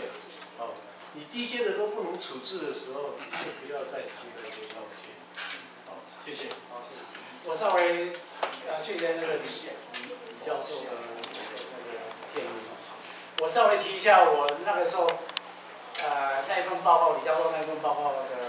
的的的感想。我不晓得这里面除了李教授以外，还有哪些人看到那份报告？那份报告是我在闪电国家实验室上班的时候，有一个计划是技术转移的计划，有低阶核废料，主要是，就按照这个处置计划的我们的经验，在闪利亚的经验，一般性的经验，不是一个对于某一个地址、某一个场址的经验来介绍。你要做的工作是哪些工作？我刚刚有提到那个几个重要的工作，立法，还要选选厂址的，然后等等，然后另外一个厂址调查，然后概念模式的建的的建立，怎么样做安全评估？我们那个技术转移的的重点就是说，不是说把美国的呃，因为我在闪料国家实验室没有没有做到低阶核废料的的那个工作，那个工作都是呃呃。核电厂的责任不是不是国家实验室，国家实验室主要是帮能源部做这个高阶的跟这个超用啊呃核废料的这个处置计划的的责任。但是这个方法是类似，所以我们就把这个方法的过程跟它的那个模式的发展，你怎么样从一个概念模式，从长址调查的数据怎么样去整理出来这个概念模式。你怎么样去模拟这个对这个场址的了解？用你这个场址的数据跟那个是真正要去模拟这个场址未来的安全分析的变化情况怎么样？然后那个时候有那个时候呃呃核研所有有提供两个不同的呃呃低阶核废料的处置的的的概念，一个是坑道式的，我忘记是在哪里，可能在台东东部什么地方。另外一个是地面式的，在海岛地面式。那个时候并没有说指定哪一个特别的地方，因为那时候台湾没有什么没有什么场址，最后我们就选这个代表性的不同的呃的那个场址的特性来做。你要假设你是坑道式的，假设你是地面式的，你要做什么样的呃呃地质政策，什么样的呃地下水，怎么样做地下水的政策，怎么样去模拟地下水的作用，怎么样去盖这个呃工程屏障，然后怎么样去做安全分析。所以刚刚那个李教授讲是没有错，我们我们不能够把美国的那个这个这个处置计划的一个模式的历史情况啊，都跟台湾完全不一样。我们介绍的只是这个方法，做这个一般性的方法，方法是一样的，只是说你在用这个方法用到不同的处置计划的时候，你必须要考虑到你的这个这个这个这个处置场的特性。跟你设工程工程屏障的设计不同，来来来做这个处置计划。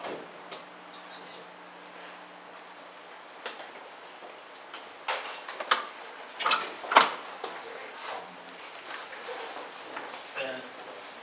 教授不好意思哈，那我们那个二零一七年的报告，就是说明年年底要送元能会哈，那基本上他会公告的四个地点，就是金门、乌州、马祖、大南澳。那然后就刚刚刚讲的和平溪的取消，那这四份呃，就说这四个四个地点大概也是就是整个报告讨论的重点。那你刚刚也有提到这个地下实验室哈，那看起来国外在处理就是那个呃用过核子燃料这个部分的生成地质处置，大概都会有地下实验室。那你对国内如果说自己要寻求自己的最终处置场的时候，你有没有一个想法，就是说对我们地下实验室哪时候要建立一些建议没有？OK，好，谢谢啊。那个刚有有一个有一投影片是地下室那个时程啊，我看一下那个时程好像这时程里面好像有提到这个详细场址调查与实试验的阶段。这里面有提到有可能会盖地下实验室，大概是差不多这个时候可能有有考虑到，有可能啊，考虑盖这个地下实验室。地下实验室的好处在哪里？就说你从地表挖井，都是从地表用从地球物理各种方法去测量下面情况怎么样，这个有一些技术也有啊，这个地球物理啊，还有等等啊，各种各种方法，因为有做钻井。把数据去调掉，哦，取样品，取这个岩岩岩岩石的分布的的样品，然后取采样和地下水等等，你可以做各种不同实验，甚至可以做各种不同的井的去测量它水的流的速度，这样的话你就了解这个地下水可能会怎么流。但是呢，你还是没办法真正的去实际去了解。场址可能性的特性，你没办法，你从地表，不管你再怎么做，还是隔了一层嘛，是不是？所以，而且这个这个，我就举个亚克曼的就好。亚克曼当初的时候还没有挖地下实验的时候，地下实验室的时候，那个时候选亚克曼的的有一个技术，当然很多人认为亚克曼是一个政治上的决定，不管他当初选为什么要指定亚克曼他不。同时做三个，为什么到后要后来要他们等暂时停的？你从从那个啊新闻的报道看起来很容易觉得得到你一个结论说这个都是政治上的的决定来使得这个亚干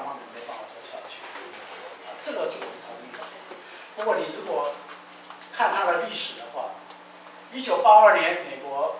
立法，美国国会立法这个 Nuclear Waste Policy Act，就是核废料的政策的法案的时候，那个时候的想法是不一样。那个时候想法是，我要能源部从五个里面选三个，选三个里面这三个要做详细的传统调查，做完以后要再跟总统建议说哪一个是最可行，三个里面选一个。然后。然后开始升级指导等等，他这个这个国会立法是时程非常非常的详细的。那当然这个也也有坏处哈，你们就坏处就是说，你这个试料电很详细的话，你达不到的话，你就出问题了。包括一九九八年，它有一个条，这个法案里面有一条说，一九九八年所有的用过燃料都归能源部管，啊，这个就问题就出来了。九九八年到了就过去了，大概现在已经二零一七一六年了，能源部还没有把这个用过燃料从那个核电站里面接手，所以核电站核电公司只告能源部输就是这个原因。但是当初一九八七年的时候，这个法案的修正案。就是一九八二年到一九八七年就五年时间，国会重新修正这个法案，其中一个重点就是把这个三个里面选一个里面的，就决定说我们就做亚干芒的就好。那当然这个决定有很复杂的因素了，经费的问题啊，时间问题啊等等。但是从技术上来说的话，有一个重要的因素，就是说那个时候的所有的。的资料，养老能够了解这个三个厂址的资料，不是很健全。它只有有限的地址的采访、有限的地表的侦测，来推测这个不同三个不同厂址的这三个不同厂址的母岩都不一样。一个是花岗岩，一个是火山泥灰岩，一个是岩层岩，啊，所以两三个地质不一样，所以它的特性不一样。但是那个时候的很现有的数据认为，亚卡芒等的储质场的位置离地下水地地下水上面三百公尺，离地面差不多三百公尺，它差不多是在这个非饱和区，大概比如说中间啊，非饱和区就是说那个地方从地面到地下水中间的的的地质不是水不是饱和的，它是。有有的地方有一些有点水汽，有的地方没有水汽，所以那个时候的了解就是说，有下雪或是下雨，水不会渗透到三百公尺以下，它处置客位置在离地面三百公尺，所以那时候的了解就是说，亚克芒等应该是很干燥的，不会有腐蚀的问题。那这个是一个，这是一个，当然不是说百分之。是五十以上的因素造成亚康马股市国会选择的。不过那时候能源部有一个报告，把这个三个场景做一个比较。比较的报告里面，根据各种不同因素，包括人口分布、包括经济影响、包括交交通、包括地质、水等等，工程屏障安全评估，根据目当时所有的有限数据去去比的话，亚康马的第一。所以这个报告一出来，国会的助理、国会议员当然没有时间读报告，是不是？我想台湾的立法委员大概是这样，是吧？啊，助理在读报告，助理读了报告以后，把这个报告的很简单的结论交给国会议员。那这个报告他们读了以后，当然助理并不是都是对这个领域很了解的，因为助理有各种不同领域。因为那个时候的我，我感觉就是说，那个时候的报告，根据能源部报告，就是他们跟国会议员建议说，能源根据能源部这个参考各种不同的因素，人人人口分布、经济影响等等不同不同，包括这个地质特性、水特性，就是亚干放的是最好的嘛。能那个时候国会就决定说，好，那我们就我们因为时间不太多了，我们三个就选一个。只要做一个就好了，所以一九八七年的时候，把这个法案修改，一修改就不做其他的，只有做亚克曼的。亚克曼的实验室一直到是到一九九几年的时候才才开始开始有地下实验室。地下实验室一进去以后，你开始在现场做实验的时候，才知道说地下水那个水在上面还是会渗透到下面去，还是所以他就用。工程屏障的设计方法来来弥补天然条件的缺陷，还有有一个钛天然的的一个罩子盖个这个这个罐子金属罐子，钛天然的钛钛是钛是现在目前的金属里面是最不容易腐蚀，对不对？另外一个它还有一个这个一个合金叫做二十二合金 l l o y 2也是很不容易腐蚀的，所以他那两就选了两种最不容易腐蚀的金属来做工程屏障的设计。当然，就是说你做这个工程屏障设计，花这么这个计划，假设用这种工程屏障的话，这机会就很高了，因为这个钛是很很贵的这个金属，那 alloy 通常都是合金也是很贵，但是美国美国能源部的重点就是说我用工程屏障的方法可以达到我安全的标准。那当然就是说我刚刚讲的意思说。地下实验室的重要就是说，你可能在做地下实有地下实验室，可能会发现你上面看不到的一些些讯息。那那我再稍微提一下，就说，你没办法找到一个百分之一百最好的地质水平的，绝对找不到。就说目前的世界上没有说一个最好，总是会有一些天然条件的。不足的地方，所以你唯一的方法就是用我们这样人类的工程平常的设计来弥补天然条件的一个一个缺陷。所以现在的处置的厂的最终处置厂跟那个机呃机械会也是一样，就是说你的天然的条件跟工程屏障的条件两个要同时要配合起来。你在安全分安全设计的时候，就是这两个。天然条件跟工程屏障设计是是要是都要考虑。最早以前，美国一九六年代最早以前那个时候的只有观念，那时候处置厂的概念是，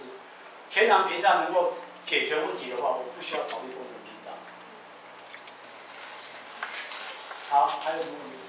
啊，老师，我刚刚有提到蓝雨，那我现在正好上网，我查了一下前十分钟蓝雨。背景辐射值是全国最低，零点零四三，那个也许和小，那也许看看原能会是不是要检测一下？但我知道原因了，因为他把那个侦测点放在离核废储存厂十多公里外的，为什么不摆在大门口？OK，呃，我的问题是，呃，我读过那个呃甘楚厂。就是台电，它的 FISA 啊，就是这个最终安全分析报告书。它报告书核准的前提是它用电脑模拟，不管是热啊、散热或者是核辐射，所以他宣布说，大概一百二十公尺的那个最接近的离子，它的接受的辐射剂量是背景值的五分之一。那我不知道他怎么量出来。因为你的 noise S N ratio，你这个很基本的工程的概念，啊，你的那个呃噪音跟讯号比，那你怎么可以测出？不可能测出在只还五分之一的核辐射值，不可能。那也就是说，他并没有做任何的实验，啊，事实上做得到，因为美国有很多，他用同样的电脑程式去跑的。那这个电脑程式，美国阿港啊这几个实验室都有，都有。跟实际去做过比较，它放射出来的核种是哪些核种啊？每个合种的那个值多少？那这一点他并没有做。那第二个就是，呃，袁能会说，呃，当然这是另外一个议题，就袁能会他去承包台电的工厂，这就是被诟病。那么甘楚也就是袁能会核研所去承包的，那他承包来以后又从美国 NAC 公司寄转。那 NAC 号称说这一行为有拿到美国 NRC 的执照，事实上美国发 NRC 执照的时候是两个重点，第一个是针对这个呃 canister 号或者 cask 本身的安全结构，这是执照审核的一个项目；第二个项目是你所在的环境，那你把这个技术引进台湾的所在的环境，台湾环境跟美国不一样，NRC 是不可能替。NAC 来审台湾的环境不可能的，所以这一项并没有，啊，等于只有审了一半。那这次我大概请教周教授的一个看法，谢谢。就说，我想台电当当当时选这个美国的干室外干式全职式干式储存，我是猜想的啊，也是有他的呃。一些顾虑，就是说，我听到了呃，台台电的消息是，他们采购法是吧？采购法有一些限制是吧？就是你要招标的时候选采购的时候，就是要选最便宜的。啊，这我不知道啊。就你只能够达到安全的法规的标准就可以。那那这个这个就是说，它安全的法规的话，当然能源部有定安全的法规。你刚刚讲到这个辐射的剂量的法规，它在在我想在原子能会的安干式储存的 X 法的安全分析里面都有要达到这个原子能会的要求，这个都有，所以它要必须要计算这个，然后还有其他的要求，比如说这个呃呃呃热的温度啦等等啊，哦，还有意外发生啦等等啊，意外发生的时候有什么地震啊啊几级地震，这个会不会倒下来啊等等，还有什么下大雨啊，这个下面的通风口会不会塞住等等，这个都有要求的啦，哦，啊这个要求的标准。就我了解是跟美国的 NRC 的标准是一致的，是配合的。那我的我并没有对他们的安全分析有任何问题，啊，因为这个我没有看过他们安全分析，所以我提的问题比较是比较长期的这些气候的问题，啊，这个盐的问题，盐分、空气盐分的问题，是不是适合台湾？这是我我比较提的问题。当然，它是它安全分析，我我我想它是。可以达到这个原则，我们会要求安全分析。哎，那没错，抱歉啊。啊，是，我要做，刚刚我们强调这个啊，有关核废的料的处理的法式化的问题了哈。那刚也提到这个啊，成立这个专责核废料处理专责机构啊。根据有台湾的这个法律来看的话，哈，事实上这个原能会哈，原始人委员会哈，就就负责这样这方面的责任。就像这个原能会这个放射性啊物料管理局嘛，哈，是，也有放射性物料管理法。那这个管理局最初事实上就是在处理核废料啊，像南南屿。核废料的这个暂暂时的这个储存厂，一开始是原能会在管理的，哎那后来这个放射性物料管理局就改变角色，那就不再是这个啊经营者的这种角色，改成监督的角色了，所以也就是说。这个处理废料的处理是回归业主，也就是台电，他去做处理的事情。那政府的机关就是监督，联能会就是去监督。所以目前的法令就是这样的。也也就是这个角色事实上也有一个改转变嘛。一开始觉得，哎，怎么政府来替台电处理这些核核废料啊？如果这样的话，台电就是一直制造，常常他没有责任嘛，反正政府都会替我擦屁股。所以，或这个思考就转个向，就是说，哎，你台电本身要去负责，那台电可能就会想说，哦，核废料不能产生那么多了，啊，那，所以我我是觉得，哎，刚刚讲的这个哈，核废料专专责的处理机构，哦，我不知道这个所所所教授的意思是什么，哈，啊，美国是不是也有这样的一个机机构啊？或者说其他国家有没有类似的这样机构啊？而我我个人的想法是说，这样的一个处理的责任啊，处理的责任应该还是在台电。那监督的责任，当然就是原能会啦，或者将来的这个与能源局啊，还有环保的环保署之类的，因为它可能除了这个啊，这个这个。啊，有有有有有理辐射之外，哦，还会有一些非有理辐射方面的一些污染嘛，哦，哎，所以我我我是建比较觉得，哦，这个专责处理机构应应该就是台电本身去去成立嘛。那政府去做好这个监督的这个角色，是这样下去。好，我了解，我了解，我了解你的想法了哈。我的我的关心就是说，台电要台电负责，现在目前台电负责，一些高阶用户燃料都台电负责。那台电是在台电的一个很重要的部位，台电的后端，呃，后端处是的，这个后端处。你如果按照台电的后端出的话，它的它的的职位哦，我觉得不够高了。就说你不够高的时候，你要推，要要要推进这种这种很难推进的计划的时候，你的阻力就很大。我是觉得要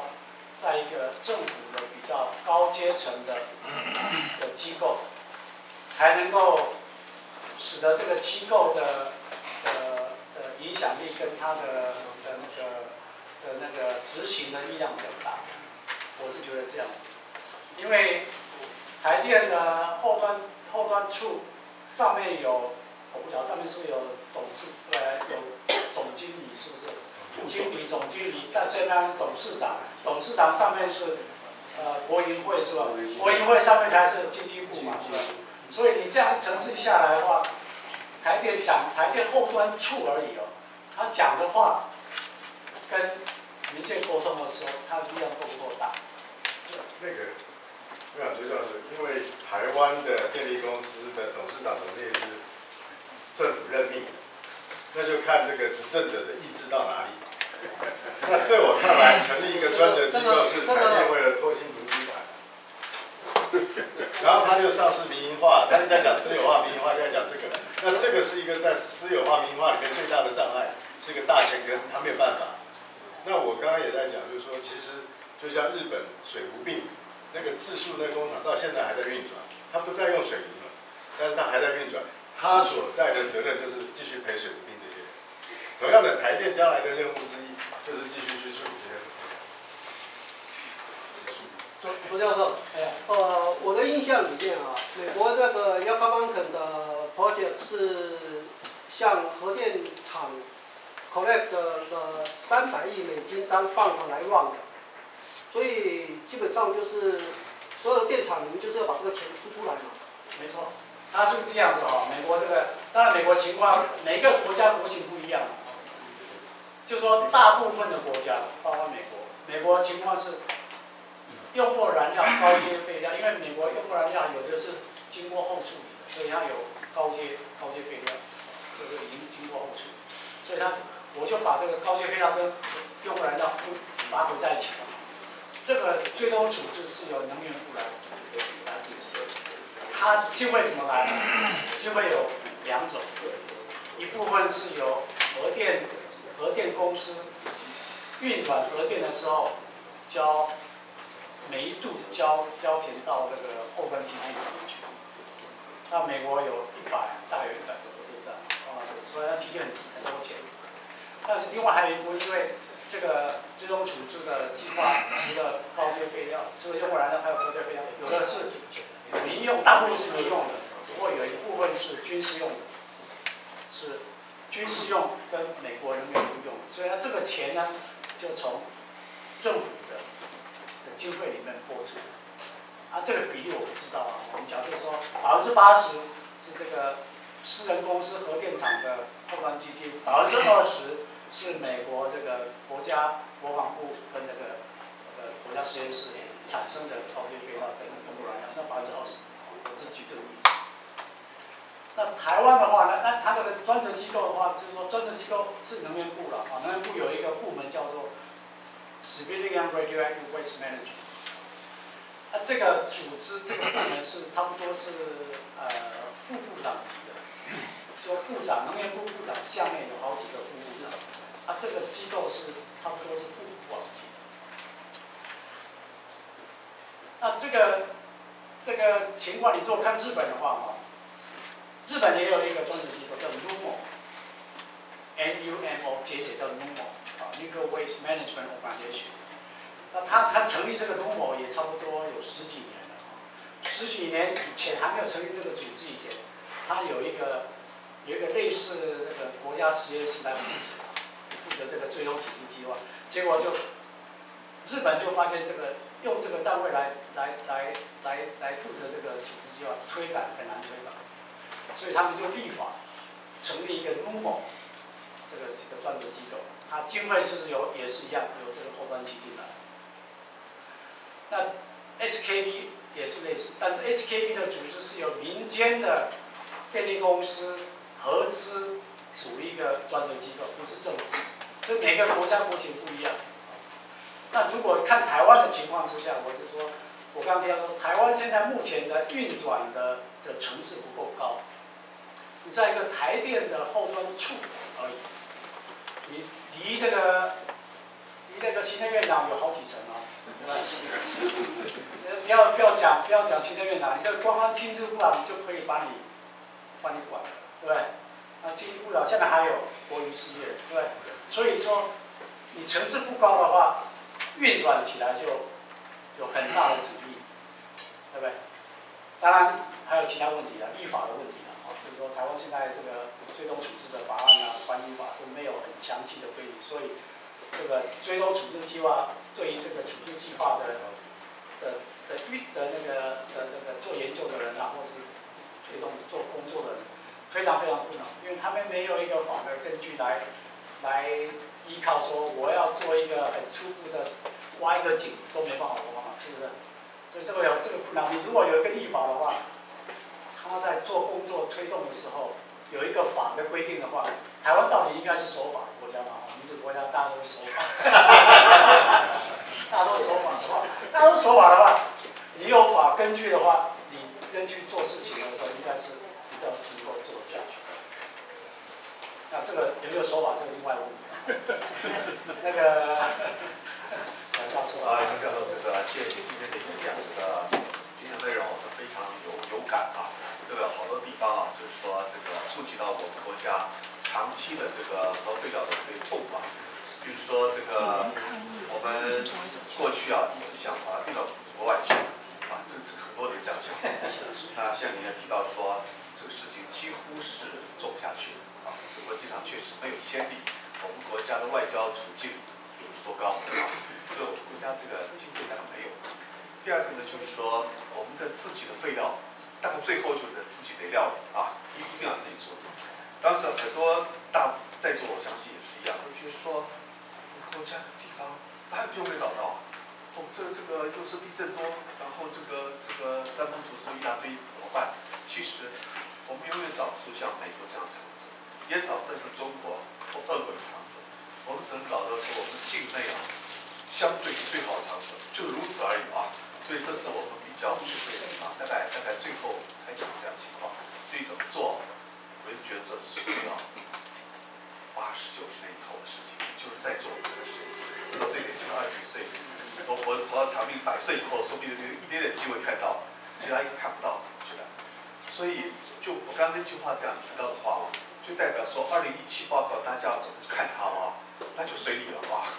因为说。这个我们绝对不会在二零一七或者说二零二七、二零三七有任何 significant 结果的可能性，看起来也不太高啊。不过回回过来，刚提到专责机构的事情，想说这个啊提到一些 background，因为说这个问题在十年前大家就希望出个专责机构，也就像说博士所提到说，台电的后端水平太低了，他做高放低放的总共当时五个，五个要做高放低放，哪有可能性？可能的嘛。那他的层层上面，从副总到总经理到什么什么一大堆，所以他没有决定权，他的任何的意见呢，综合都不讲，不讲。所以呃，大家都希望有专责机构，所以后来经济部台电呢，确实规划出一个行政法人啊专责机构，但是啊，大家看到完以后的话，傻眼，啊，这个专责机构和预期的呢是完全不一样的两回事，它是一个组织。然后呢，用后端的钱，可是他的 mission 呢，他最主要想做的事情，当时想做第一个是他非要再处理，第二个是境外数字，所以哦，就是说你会傻眼，他要到底要卖什么东西？那大家也都晓得说啊，这方面的专家大家都晓得说，台电做核废料，它的专业并不太，因为和台电是一个这样发电核能发电机构。那你也知道说，你是核中外公知道一些，那他们在核废料的了解度或许比较有限，所以大家都是以拖代变，把它留到下一个。那直到最近的话，变末代老鼠，就说事情爆了，那这个这个不知道该怎么办。那这个专责机构就成为一个大家他可以说，这该成立吧这样一个专专责机构。那所以呢，这个我给一直对他是非常质疑的一个一个态度。那希望说用另外一种这个专责机构性质，当然专责机构性质很多。您提到美国是一个像私私处层级啦，它是 assistant secretary 做头的啊。那瑞典是个私人的，啊，像韩国是个私人，但是呢，刘某呢，后来的成立并不成功。这十六年来，刘某呢是屡次碰到困难，因为他没有公权力，他没有办法去做选址工作，最后结果还要回到政府去，所以刘某面临这个这个呃改革，这样子。那这个台电当初想说 follow 刘某这样子的一个机构做，可是呢。我们的法律系的这个，应该说法学方面的学者的话，都认为说，因为我们没有，应该说法人没有公权力，做不了选举，啊，所以这是一个这个最大的困境。啊，那那这个目前的想法是说，希望说放在公家机构，就是他说放在部的底下，也是四处成绩在一个单位去成立一个专责类似专责机构，但希望人事比较活一点点。这样这样一个想法，所以这里呢是有一些呃很难很难处理的。好，谢谢。那个博士，那不这样，因为时间关系，再讲个问题。好，那我又是想问一下，接着我们就请我们的那个谢教授。没有关系，我我我的时间给他们聊，没有问题。我我我今天是来听的，没有问题。确定一下刚才这个吴博博士的意思，我想吴博士建议专责机构，我我想你应该是。强调说跨部会，因为这本身就是一个 cover 很多不同部会的条件，应该已经比让台电或者说是以前的经济部，因为这考虑到很多国防部的、水保局的很多不同的单位，所以很多社会的很多沟通、很多文化，应该博士讲的应该已经是一样的一个层级了，因为真的要推动，必须要这样跨部会的事情。第二个是顺便请大家，不是一个比较技术性的问题，就是说，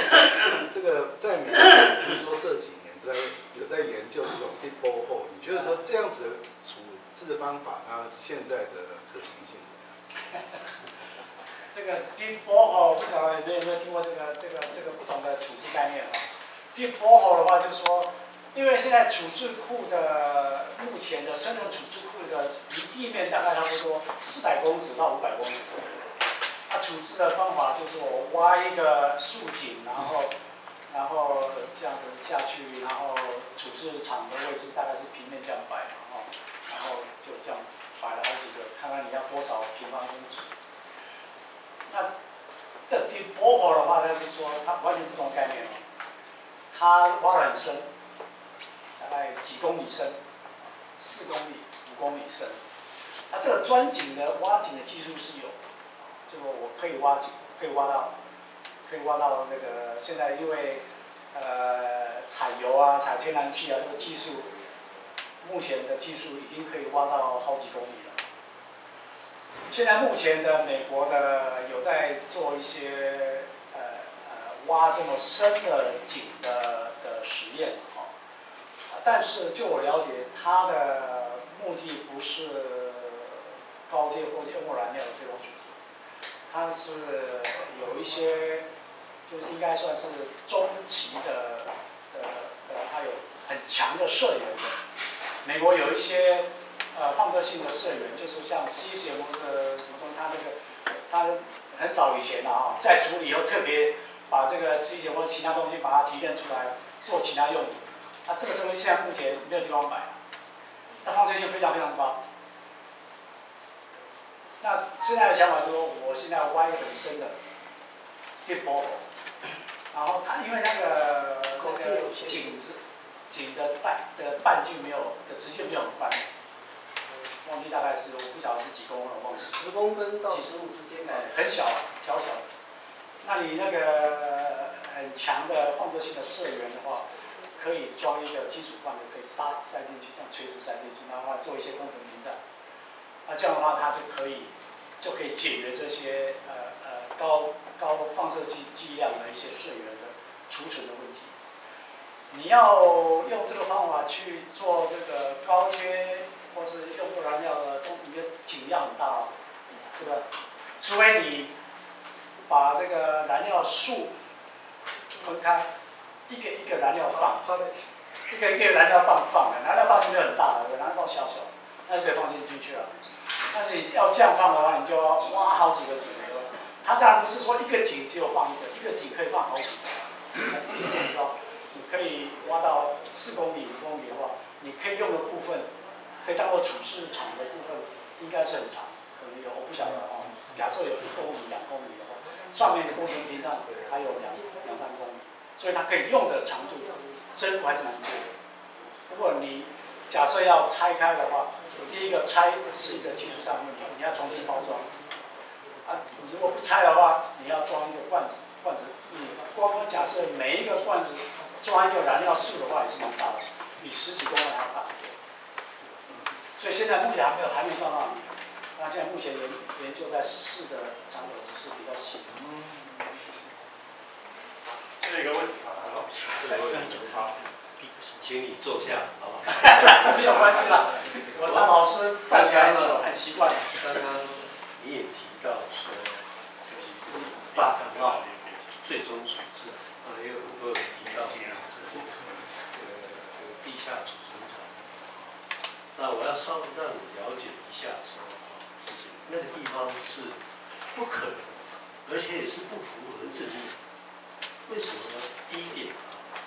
这个是大港是介于花莲跟苏澳之间，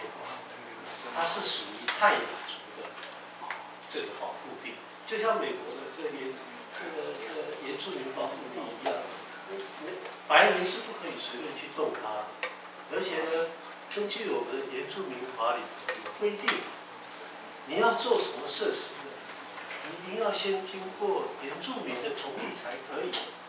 所以现在台电根本都没没有做任何工，没有任何的，所以那个是不可能的。啊，而且我要再告诉你一个，泰雅族应该是台湾原住民里头，我认为最凶悍的民族。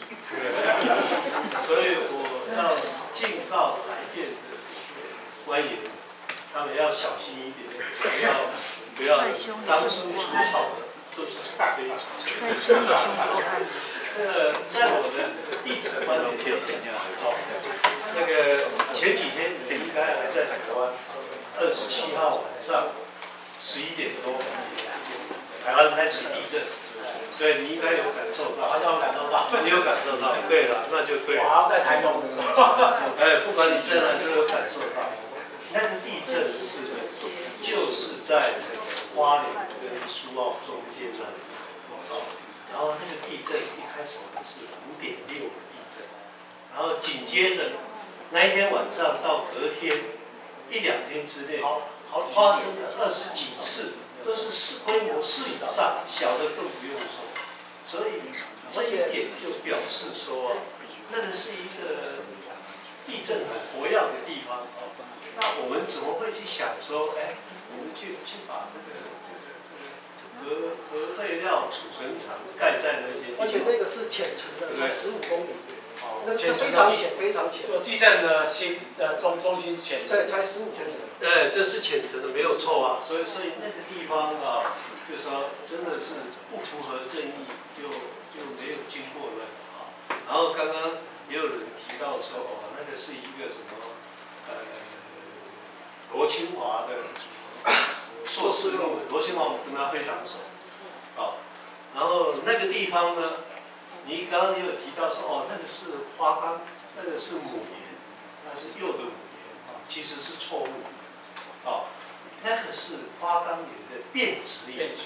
哎。它是经过高温又高压的作用过，所以已经不是你们想象中的那个。它其实不是花岗岩的 basement，它是是掉断裂下来后的 fragments 掉到那个大家好，谢谢。对，Anyway，那那个还有很多要好，谢谢谢。OK，对我我刚刚就是提到，就说我一个，就是说我觉得刚几位教授就提到我们这个，我就我想我二零一七年的这报告，我刚才提到就是说，其实评审审查的重点应该是由台湾的各个领域的专业人员来做起，地质是一个部分，啊，水文也是一个部分，工程屏障的设计的工程的，材料的人，这个也要要参与。所以这个部分的话，就是说应该有重点，应该是放在台湾的专业人员，各种不同领域的专业人来整，因为你们比较了解。我只是我我我没办法台湾了解，而且我自己本身不是像你们对于哪一个题目非常非常了解，所以我刚刚提到就是说，其实用这个专家这个名词，并不是一个很好的名词。如果每一次我听到人跟我说我是什么什么，我说这不对啊，我就是一个有经验的、有实际上经验的一个。一个专业人员。好，那我是希望你们有机会的话，对于这个二零一七年的这个报告比较关注，可以跟其他的你能够能够接触到的的的的比较有影响力的人，他们反映有这种看法。好，谢谢。好了，那好了，那那其他的有问题就私下再。我对我讲起啦，吼，因为感感谢今仔有这个土博士，哦，免我安安讨啊，因为我这老前辈就是往环河的啦，我嘛是讲当观察，要爬伫外哩睡觉，坐公车，哦，我拢十八年，种老前辈，这就是迄个后摆也听听迄个永和的来，哦，永永和较环河的，啊，因为国民党了啊，国民党出来就是李义哲，你看即摆几若千个。即摆迄个四手物件放伫遐，搁放伫遐啦。哦，所以讲这较早美国，互安尼物件叫美国转回收转去，哦叫美国嘛对。较早北韩你知北韩要啦，北韩啊，啊北韩美国来动啊，北韩较早无呀，无买来嘛对。啊美国来动，咱台湾所在地要欺负迄个原原住民，即摆要去台东，你知无？要台东要当坑人，台东嘛卖，无去跟中华民国握手，握手无中华民国嘛对。哦，伊嘛无爱，啊要囥对，哦，啊，即代人做业啊，大家啊，大太大，啊无就啥物讲嘛？你讲，你着你你着讲讲到偌好嘛？啊，阮放即放即个，互阮这遮这个木头，啊，天去台湾啦，无发生代志啦，发生代志哦，台湾无啊啦，我几了啦，较早是乡村三手啦，所以种麻烦讲破人使无食无，迄个迄迄个无产厂，你要开工的时无，用人使人练的。对，哦，大家鼓掌讲，哦，我这这个偌好，你偌好，啊，即嘛咧，对，所以讲博士，今仔按即个吼，即个意义袂歹，哦，这就是反正国民党恶制，制度利益啦，啊无叫人讲无叫人某对某来手解招来啊，哦，啊某来去，国民党人讲用何人叫人某一地人。唔到，哦，啊，阮钱过互伊，哦，阮钱过互伊嘛，对，啊，所以讲今仔人有一博士你食迄种，你较早从博士你无话从博士第四。讲一届伊较较早嘛，伫美国，美国嘛，伊是逐摆说甲国公来做做顾问啊，四四十几个，人伊嘛电视一直讲，啊，毋过国民党嘛一直讲要一直一直爱，好佳在迁入台湾啦，今仔即种即马政党问题啊，啊无伊嘛是要搁扩大厂的，你知袂？毋是，诶，即摆迄迄个河河啊河伊迄嘛是扩大厂的，伊是要搁延延续落去呢。对吧？好，谢谢吼，阿你好，谢谢阿你好，就我们请谢教授，今天我现在要怎办？我我我我我我不过去了，因为有人因为刚才有人说走来走去嘛，所以我就不过去了。呃，我非常高兴今天有这个机会能够能够来呃参加这个活动。呃，刚才坐在这个地方呢，呃，聆听各位呢，呃，给联能会也好，为给呃台湾呃核能发电相关的一些核废料相关的处理这些一些建言啊，我都听到了啊，我都听到了。那么各位可以看到啊，经过这个两三个小时的时间以后，各位的意见基本上呢，坦白说，我们教授呢通常都只会讲，OK，讲很多，但是呢，最后还是要做个结论。那这个结论是什么？那就是我们希望找到一个大家一个共识啊，因为我发现刚才大家都讲了很多，讲了很多，有些不见得意见是完全一致的，但是呢，核废料将来的相关的处理啊，一定要一定要做解决。所以呢，我是我是刚才在这边想了一个，事实上这几天我都在想，啊，我希望就是说，可能如果大家大家觉得可以的话，提供一个各位一个另外一个思考方向。台湾现在目前的执政的县市，绿绿色执政、民进党执政县市很多嘛。那我觉得以后呢，这些东西都是要跟地方结合在一起。那各位每个地方的首长，suppose 就找他们来开会。我们针对刚才所讲的，我们说的相关报告，我们就找了一个最佳的。最后 eventually 如果要民主就投票，那觉得选择那个，那大家一定要把持下，否则的话，我们永远无解。啊，我永远无解。所以在这个地方呢，我希望，因为因为现在是这样，既然新政府呢是要废核，那这些东西是一定要处理。那在这种情况下，刚好有这个机会，又是执政党基本上呢，他 cover 这么多的执政县市，这是一个很好的机会。那我个人看法是觉得这样做，因为你你你是民意首长，你代表就是你那个县市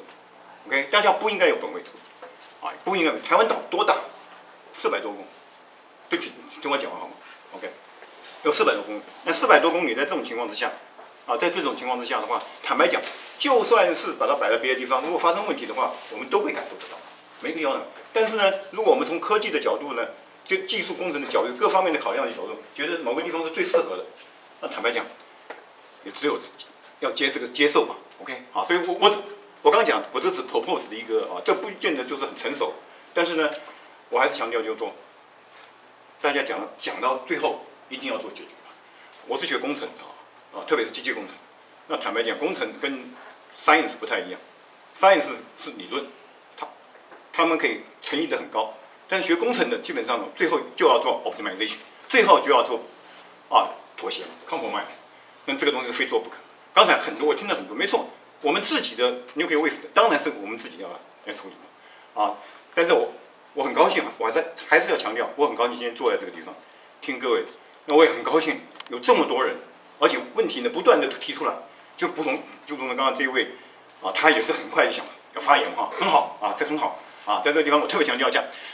谢谢啊。那我希望各位随时给我鞭策。那么我现在的时间呢，就全部交给你了。好，好，没问题 OK 的。我我要讲的是啊，我我我是我是学地质的。是。那以我对台湾的地质大环境上面的了解啊，我不认为台湾能够找到一个可以把所有的这些高阶核废料处理掉的场地，所以可能要思考我们有没有分散处理的方式。好，谢谢。这个这个必须是是是，这个这个是现实问题。是我同意，我同意。但是我刚才也讲过，假使我们要做境内处理的话，OK。那么，甚至境外，就是台湾台湾这个附近的海域的，我们一些，比如说像讲金门啊、琉球的，或者这些，就如同你所讲的，就地质的角度来看的话，可能没有一个没有一个适当。那占三号从工程的角度呢，一定有一个是比较好的啊，relatively speaking 的话，应该是比较好。我想卓教授应该是同意这个。对啊，我刚才提到就是说，你目前你没办法选到一个最，你不可能嘛。你怎么可能？非常完整的，非常好。这这个这个，我我我我要插一个嘴。你想想看，这些 isotope 这么多年，基本我们坦白讲，我们现在只能为我们能够看得到的这些年我们负责，或是我们 for forecast 或者 predict 或 projection 对未来的这相关事情。可是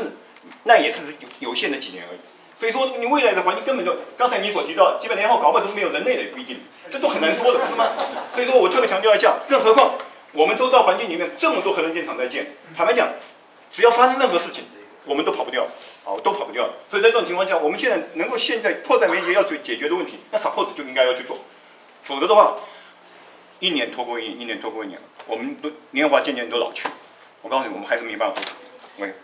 很抱歉，我在这地方有点这个这个。OK，不。我同意你看，如果能够做到，我们当然是进行好不好？我的意思是说，可以可以。如果如果这么不用不用说这个说地址找不到啊，地址一定找得到，我们一定找得到地址相对最好的一个 size。老师，我讲一下哈，假设我们需要一个 A3 size 大的，可以把所有的放进去，可是我们只能找到一个 A5。